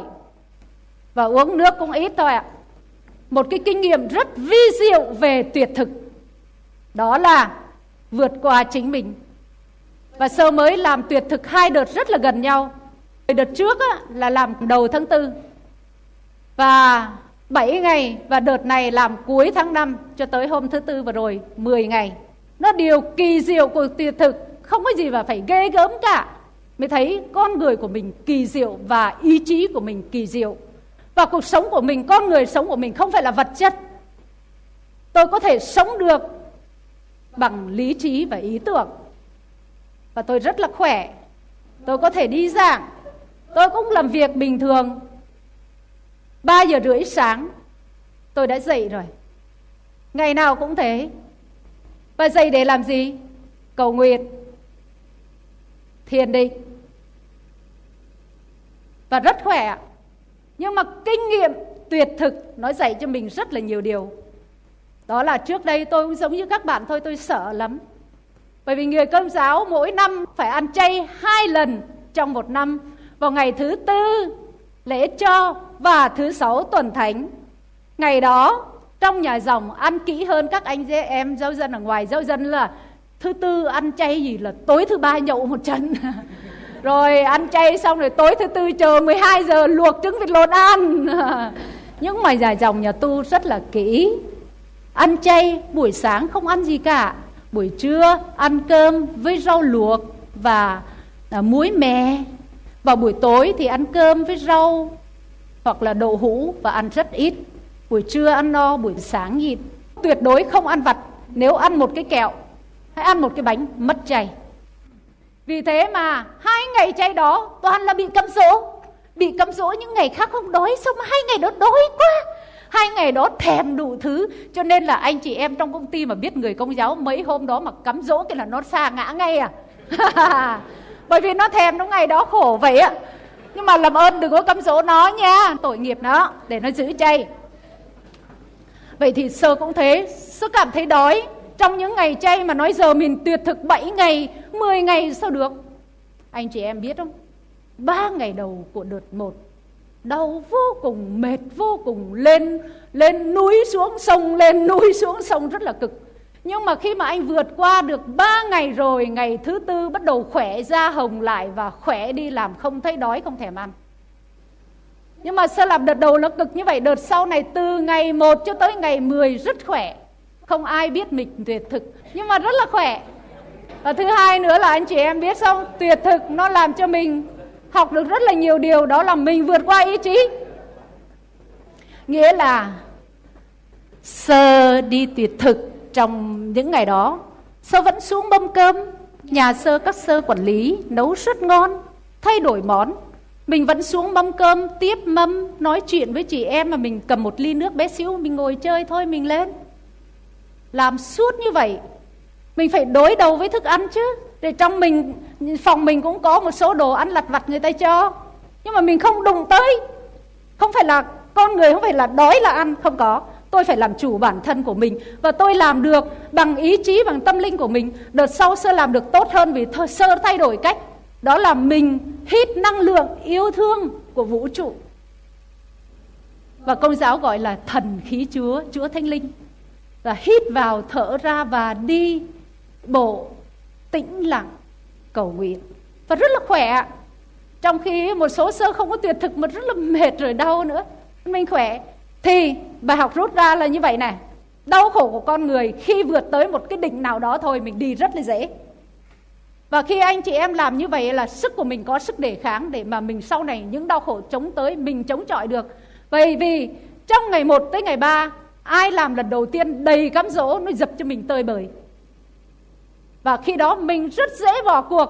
Nhưng mà ngày một tới ngày ba, anh chị em tuyệt thực chưa ăn thua gì hết cả. Phải đi được 7 ngày 10 ngày nó mới thanh lọc được cơ thể. Tại ngồi một ngày ba nó chưa thanh lọc được. Đây là một cái phương pháp khoa học để thanh lọc cơ thể để chữa bệnh. Bởi vì trong con người mình đầy mỡ, đầy những cái chất xấu. Những cái xuống ký đó đừng có lo lắng và ăn lại nó lên rất nhanh. Bởi vì xuống ký đó là toàn là tạp chất và mỡ những chất xấu. Thì nó sẽ xuống đi, nó sẽ thanh lọc, sẽ toát ra đi. Nhưng mà quan trọng á, là mình phải đối đầu với chính mình mình học được gì về tâm lý tâm linh và các mối quan hệ. Vì khi tuyệt thực á, tâm mình rất sáng. Sơ viết bài rất nhanh ạ. Và cầu nguyện cũng dễ ạ. Vậy thì khi đó mình tập trung được dễ tập trung được dễ và mình cảm thấy rằng mình vượt qua được nhưng mà ngày 1 tới ngày 3 mình nó chết rồi. Tôi thấy mình nó tuyệt thực để chữa nhức đầu bây giờ nhức đầu quá. Rồi tuyệt thực sao mà đau bụng quá rồi đau lưng đủ thứ nó nhiều cái lắm và mình muốn bỏ cuộc. Nhưng mà không sao cả, không chết đâu. Khỏe. Vậy thì mình học được rất là nhiều, đó là sự vi diệu mà chúng ta có thể vượt qua. Tôi làm được, anh chị em có thể làm được.